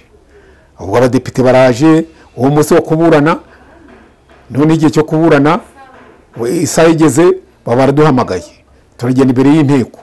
Turarahiye depite we bamuha intebe aricara njye ndahagaze. Ubwo tumaze kurahira ubwo aravuga eh, ni bwo yababwiraga ibyo ngo namukoreye nanjye ndirirwa nti rero ngewe ibyo avuga ngo naramusatse si- ngewe wundi na shefu. Nta shefu kuri gereza usaka. Ahubwo nabaga ari shefu de posita ategeka reporisiye basaka. Nawe se ubwo nari guhurira nawe kugira ngo musake mwambure nawe amafaranga. Nari kujya gukora akazi ntashinzwe ntabwo nigeze mbona nta n'uwo nigeze nkubita. Reka reka reka. Ngo yangoye ngo yarankubise ngo aziza ngo ni icyitso cy'inkotanyi. Ngo nyambura nawe ma- nawe madolari ntabwo bati bisava ubwo noneho ubwo batangiye guhamagara abatangabuhamya mu batangabuhamya muri izo ntumwa za rubanda yari yazanye yari yazanyemo depite mugabo w'indekwe baramuhamagaye ubwa mbere araje. Wowe wa mbere. Bati urugendo uramuzi undi ntabwo muzi.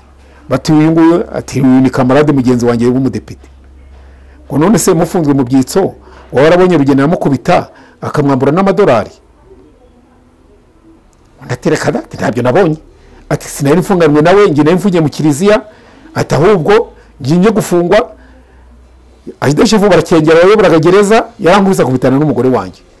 Batora ntabwo ari byo tukubaza urumva yatangira kwivugira ibyamubayeho wowe. Ibyo eh, arabihakanye ati ntabyo nabonye. Bo hakurikiraho depite gatemberezi gatemberezi nawe na- nabona ari umusaza nyine ugize arinjiye nawe araje ararahiye. Bati waba warabonye uyu rugenera uyu wari umusuruveya akubita uyu mudepite mugenzi wawe abaje gufungwa mu byitso akamwambura n'amadolari. Undi ati ntabyo nabonye. Tatangiye kubitubwira ubu ngubu baje kuburana. Bati niba ati sohokere ubwo haje witwa habimana joseph muramu wa rando bitaga n'izi hoteli ngo bamufunze ari visi guverineri mu byitso. Noneho ubwo baramubajije bati uyu undi ati ntabwo muzi. Bati uyu nguyu undi ati uyu nguyu yitwa udahemuka francois. Uyu depite. Ati ninjye twaryamanaga muri mineri twaryamanye amezi ane. Ati ntabwo yigeze atubwira ko bamukubise? Ngo avo- ngo akamuca n'umugongo ngo n'amadorari ati nta kintu yigeze ati muri amezi ane naryamanye nawe ntacyo yigeze atubwira. Ati uretse ko yabaga yicaye nyine yigunze umunyururu wamuriye nk'uko natwe twese wabaga turi. Ati ni byo namuziho muratiye ni uko bagera no ku batangabuhamya bawe. Ubwo rero aba- abatangabuhamya bose bumva ba- ba- ba- ba- baranshinjuye rwose bamanaguye nta kintu bavuze banshinje. N'izo ntumwa za rubanda. Ni uko ubu yageze ku batangabuhamya banjye habanza uwitwa gasore paul. Ni uko araje. Bati urugendo ruramuzi? Undi ati ndamuzi. Ati iyi mfura y'u rwanda imfura y'u rwanda ati nobure? We yazi igifaransa ngo yahunze muri mirongo itanu n'icyenda yari mu isominari igifaransa arakizi. Ati nobure ati imfura y'u rwanda. Ati iyo tuta- tutagira imfura intagira imfura y'u rwanda simba ndiho. Abatangiye kuzamura ibikomere iri gufa rya tiba ryari ryaracitse arabereka ati iri gufa ryari ryaracitse. Banjyanye sehashika barishyiraho isima. Yari mu nkotanyi zari zihari izo zafasiwe ku rugamba. Murabona vuje nuko ati baraje ba- ba- baradukoreye torotire barankubise baranyi- barankoreye iyicarubozo uyu mugabo aje kungaburira y'imfura ije kungaburira. Arandeba araduhururiza baje- baratuvura. Tubona abaminisitiri baraje minisitiri mujyanama abayobozi basakatwa muri perezidansi baraje kubera we. Ati imfura y'u rwanda ati we ati ibyo ya- yabikora ate. ati ikindi uyu mudepite avuga ko ngo yamukubise ngo amuzabone icyiciro cy'inkotanyi ati none inkotanyi ni iki murumva ibintu yadukoreye ari twe nkotanyi akadugiza akadukura mu rwobo rw'urupfu turi hafi gupfa. Twari teguye kujya muri semitiyeri ari twe Ati, murumva iyi mfura y'u rwanda yarigeze yanga inkotanyi muri iki gihugu. None ninjye nkotanyi aranganyiriye neza. Murumva icyitso ni cyo ari kugirira nabi agirira neza inkotanyi twebwe amuze ko ngo ni icyitso cy'inkotanyi. Ati reba ibi twari tugiye kujya guhamba ba- ba- dutegereje ko tuva mu mwuka. Araza aratuvuza ati n'ubundi asubiye ku rugamba ndi kurwanira igihugu. Ati, ikindi yamaze ku- kutuvuza ntitwongeye gusubira mu kasho twahise tujya ku bana n'uyu mudepite muri mineri. Ko tutigeze twumva avuga ko hari umusurveya runaka wamugiriye nabi. Ibyo bintu mubirebe neza. Aba barasohotse hakurikiraho witwa francis nawe araza ati ni inkotanyi nafatiwe ku rugamba. Aberekana nabo ibi- ibikovu babavuye icyo gihe bavuza. Ati se murumva umuntu wagiriye neza inkotanyi yarigeze yanga inkotanyi muri iki gihugu avuga ngo ngo ngo yamukubise amuze abo karitsiye bose abo bose wenda uretse abo ngabo witabaje mu rukiko mu nkiko gacaca birumvikana ko nkurikije ibyo umaze kumbwira ubwo namaze kumva ko byarangiye ubaye umwere mubanye gute nyuma yaho cyangwa se nk'iyo muhuye bafata bigendera gute iyo muhuye muganira ibiki? Abo basirikare? Abo basirikare uretse n'abo ngabo tubwiye bari bari mu ru- mu mu rukiko gacaca icyo gihe. N'abandi bakuzi ko wabavuguje icyo gihe muri disney trant hari abo mujya muhura? Eh, benshi turahura tutafe nk'uwo gasore paul atuye i rusheshe uwitwa patrick akora muri turisime atwara ba mukerarugendo. Na francis nawe ni umusirikari ajya- mu ntuza za hirya mu mahanga nawe kurenganura abaturage. Gusa nubwo bampanaguye icyo gihe urumva abantu bose bari baje kunshinjura abatangabuhamya n'abo badepite banshinjura. Ahubwo inyangamugayo perezida wari uyoboye gacaca we yararusubitse ba- bagiye kwiherera agarutse aravuga ngo ngo eh, bazarusoma ngo ku cyumweru gitaha. Abaturage bari bazati se ko arabisubitse ko ibintu byose bamuhanaguyeho icyaha. Ubwo naherekejwe n'abantu nari naragenda ukora nyine mu muhima benshi cyane bacitse nyine bararokotse jenoside yakorewe abatutsi ko bari benshi bose bamperekeje baje kumva bose batangiye gu- guserebura ko nyine icyo cyaha kitamfashe. Noneho eh, wari perezida wa gacaca wari uyoboye inteko ubwo twagiye kumva tumva baraje bavuye kwiherera ngo urubanza rwa rugenera ngo tuzarusoma ku cyumweru gitaha. Bakubitwa n'akantu nuko. Noneho nyine twumvira nyine amategeko y'inyangamugayo. Noneho ubwo muri icyo cyumweru akajya atumaho abantu banzi ngo ngo rugenda natandeba ngo nubwo ntacyo yakoze ngo nzamufunga. No. noneho nkavuga nti ubwo se arashaka kugira ngo nzamuhe ruswa? Ni ngewe narahiye muri fpr hari itegeko mu mategeko cumi twarahiriye harimo itegeko ryo kurwanya rus- ruswa. None nta ruswa nshobora gutanga. Ngewe ngomba kubahiriza amategeko y'umuryango wa, fpr inkotanyi. Nuko rwose mugende ubu bimbwira ahubwo nkamubwira nabi nti uramenye. Nuko bakagenda. Ubwo nyine bageze aho ba- ntibagira kugira icyo bambwira. Iri parikongo sinzi uwo wabonye ngo uwo depite yaka inomero z'uwo perezida w'inyangamugayo nuko aragira ngo arazimuha barazimuha urumva hari wenda yamuhaye amafaranga kubera urumva ko yari asebye yari yambaje abo badepite bamu- ba- bamutayo bose banshinjuraho ibyo ko batabibonye nuko ubwo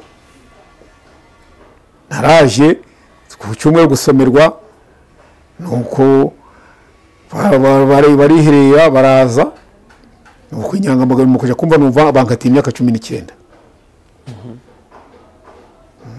Bankatiye imyaka cumi n'icyenda nuko nta kindi icyo gihe hari abakora divensi yaranzamukanye ba- banjyana muri ntuza muri gereza. Dizine ofu tarante bo ndagenda mbayemo mazemo nk'iminsi itatu muri ba basirikare b'inkotanyi navuje ku rugamba uwitwa gasore paul yaraje aza kuri gereza ati nari nje kureba rugenera ngo yandike ubujurire mu nteko y'ubujurire mujyane mu nteko y'ubujurire kugira ngo azaze kuburana ubujurire. Ati none ati umuntu wararenganye twese twanaguyeho icyaha n'abadepite baje baganaguraho icyaha ati iriya nyagabo bamufungiye iki? Ati mu- mu- mumubwire yandike. Ndandika nuko ubujurire bujya muri sosiyale bateraho amakashi arabufata bujyana mu nteko y'ubujurire ku muhima. Ubwo hashize nk'icyumweru nagiye kumva numva barampamagaye ngo nze kuburana. Umusuruveri nagera ku- nteko tugomba kuburanira bagasanga depite ntihaze bo ubwo arabungira ikindi cyumweru gishize baraza bampa ubutumire nabwo depite ntiyaza noneho ku kindi cyumweru gishize bandika ubutumire bwa gatatu. Noneho bandikaho ko nataza bazaru- bazaruca. Bo noneho hagiye kuza uwo mbese uwo perezida wari uyoboye inteko yamfunze yitwaga sipuriyani. Eh, nuko ubwo ataje ubwa gatatu bavuga ko ataza nataza bazaruke. Yarabirebye araza. Ariko none ntiyazana um- nta wundi mutangabuhamya yaje waje. Ubwo haje abatangabuhamya banjye b'abasirikare n'ubundi baje ku ntangabuhamya mu- muri nteko y'ibanze y'iyo nteko ya sipuriyani nuko ubwo bara- bara- bara- bahamagaye depite araje bamuhaye intebe nyine aricaye nanjye ndaje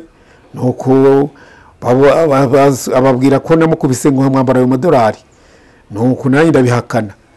Ubwo batese ko nta bandi batangabuhamya wa- wa- wazanye. Undi ati ntabwo nabonye.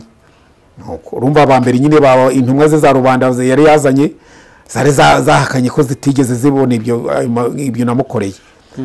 Nuko noneho iyi nteko yari iyobowe niyo yitwa munonozi sharire inteko y'ubujurire.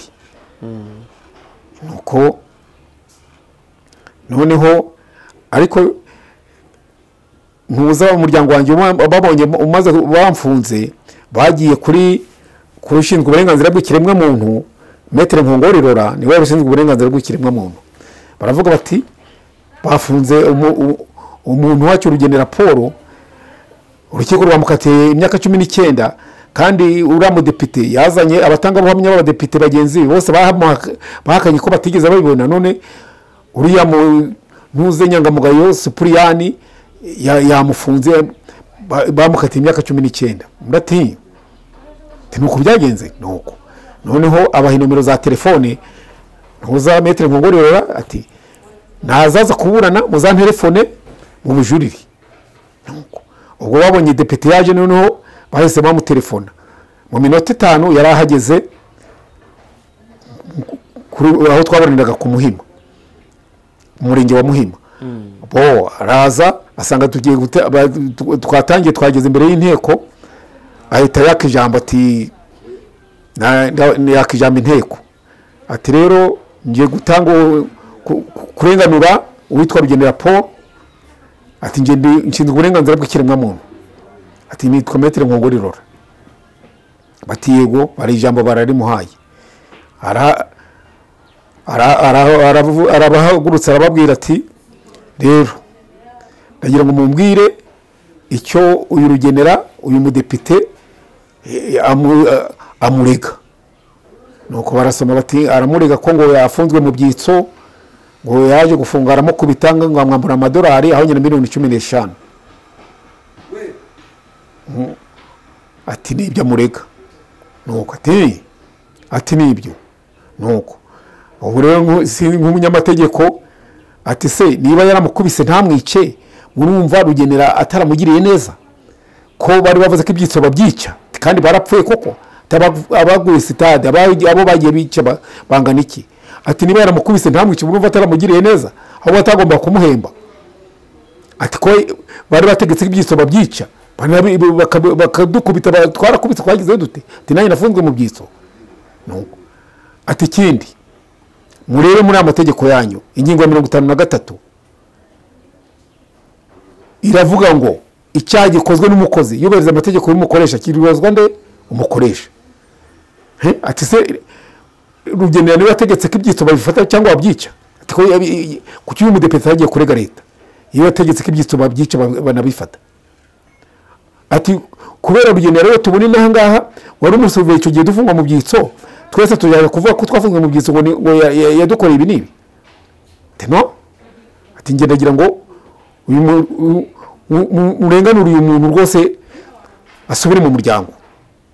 Ati kandi nanjye nafunzwe mu byitso uko namubonaga muri gereza twabonaga ari umuntu agenda aduha ati mwihangane muzafungurwa ah, twese ah, ah, adufata neza rwose nta kibazo.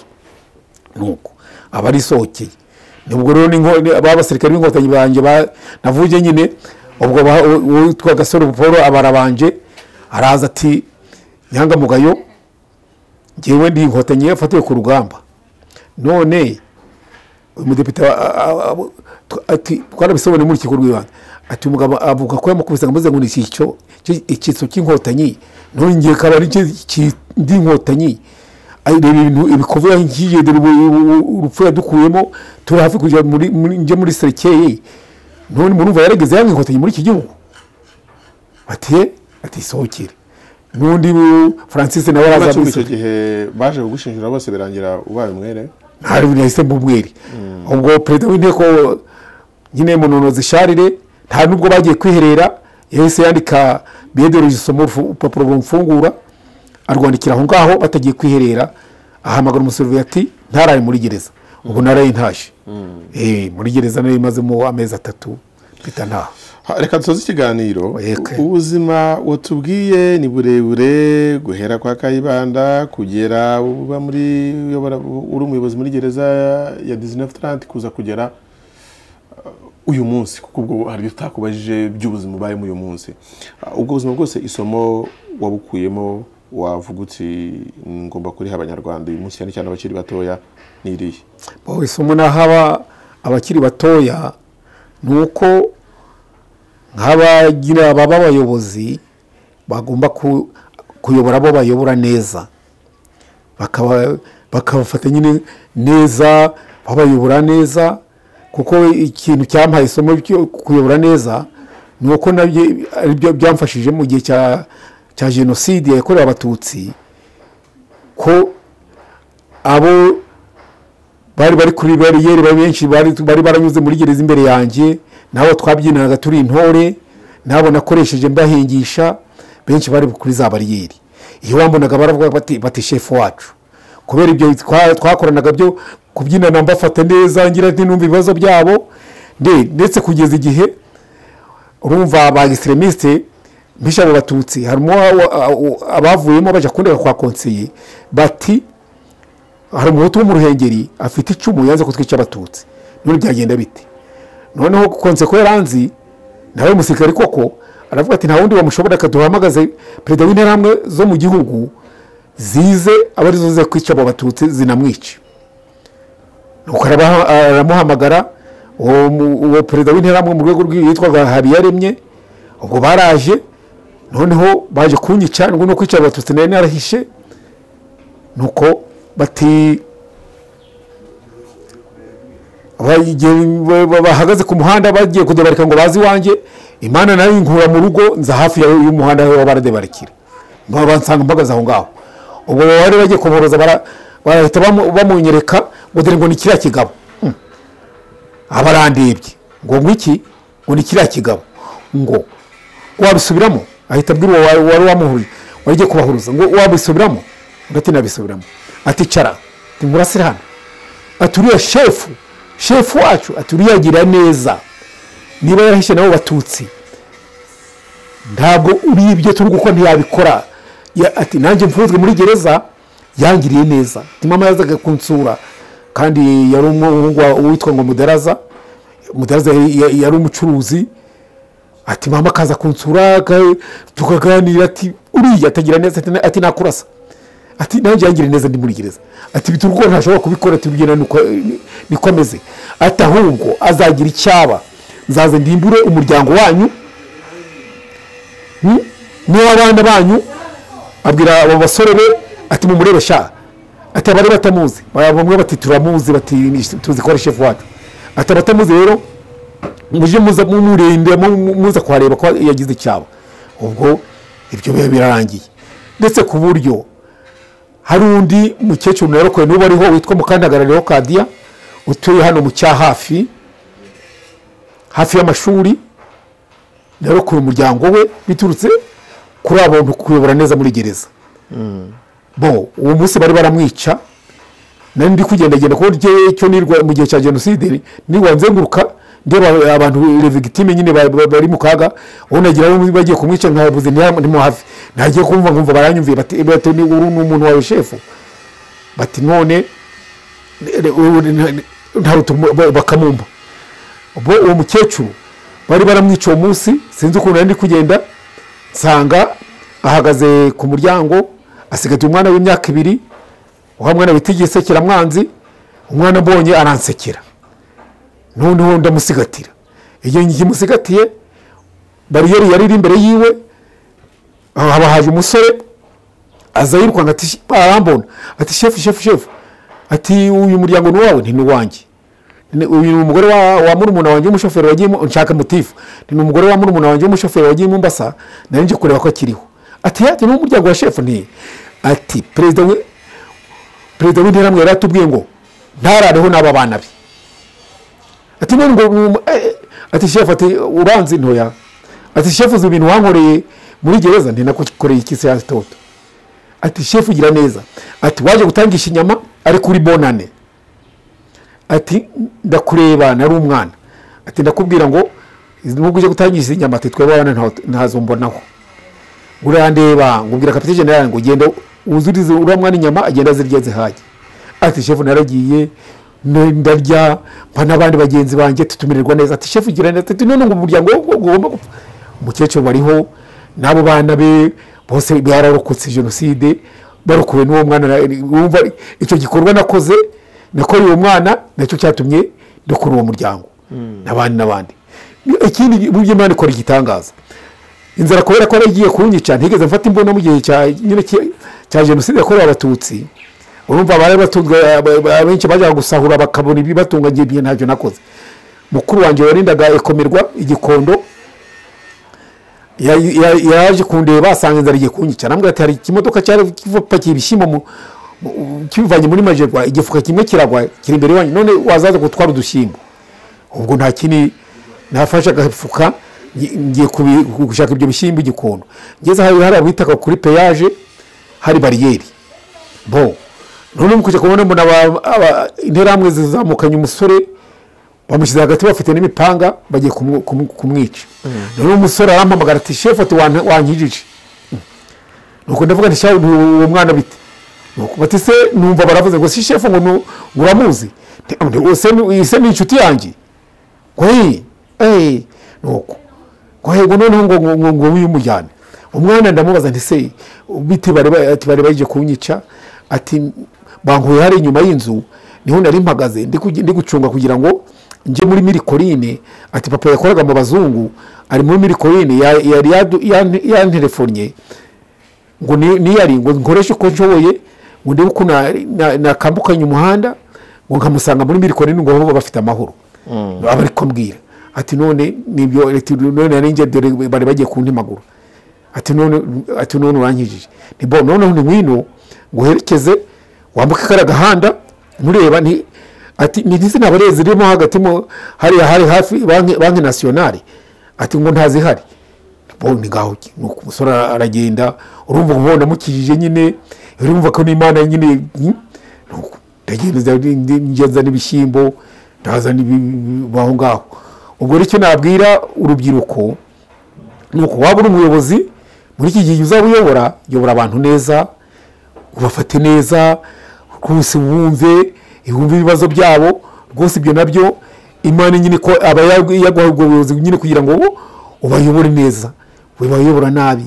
Nabwo bizagera igihe uzakora ibindi bikorwa cyangwa abaturage bagire ku bikorwa ni icyo kintu nabwira urubyiruko rw'iki gihe kugira rwose ngo mbese iyi guverinoma y'ubumwe bw'abanyarwanda yindi ubunyarwanda bayishyigikire kuko ibintu by'amacakubiri bya hutututsi nanjye mu buzima bwanjye ntabwo byigeze bijyamo ndi n'umusirikari njya mu gisirikare naryamanaga n'umusirikare witwa bayingana wavukaga hari ishyorongi ubwo bagenzi banjye ngo bareba iby'amasura n'ubuhutu n'iki bajyaga bambwira bati kuki uryamana n'inyenzi ahubwo ngiye nkabakubita nti inyenzi inyenzi koma uyu wari umuntu kimwe nanjye waya ngo ni inyenzi ngo ni umututsi.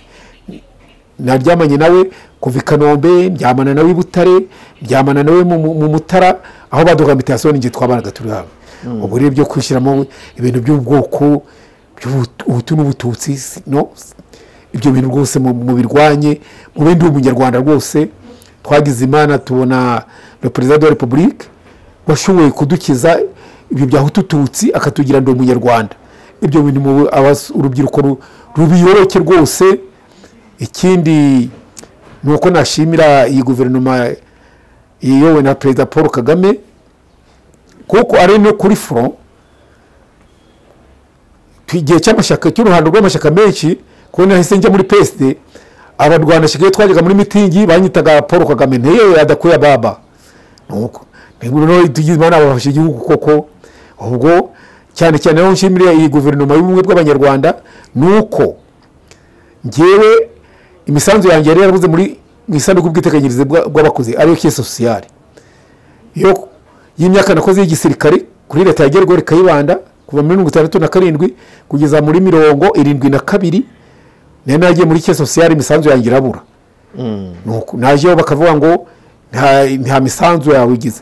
Ubwo nagiye ku muvunyi ndavuga ko yandenganura akanzabura minisiteri minisiteri y'ingabo z'igihugu bakankorera legalizasiyo nkabona ayo mafaranga y'iyo myaka nakoze kuri leta ya gergo kayibanda. Bo yarabyumvise koko baragenda nanditse agenda umuvunyi ajya muri minisiteri y'ingabo z'igihugu ajyana iyo dosiye yanjye minadefu inkorera legalizasiyo y'iyo myaka irindwi pansiyo yanjye iriyongera kandi urumva ni imyaka nakoze kuri leta ya gergo kayibanda yo muri mirongo itandatu na karindwi. Habaye inkora legalization umushahara wanjye wa pansiyo uriyongera ubwo rero nkaba nshimira la, guverinoma ibigo rw'abanyarwanda ko yewe na paul kagame perezida paul kagame ko yumva abanyarwanda. Bo ahasigaye. Mm, urakoze cyane rugendo raporo urakoze kandi wowe wakurikiye ikiganiro. Mwese mbifurize kugira ibihe byiza no kunogerwa n'ibyo mukora byose. Eh, ndetse n'amahirwe n'imigisha mu buzima bwanyu bwose. Murakoze.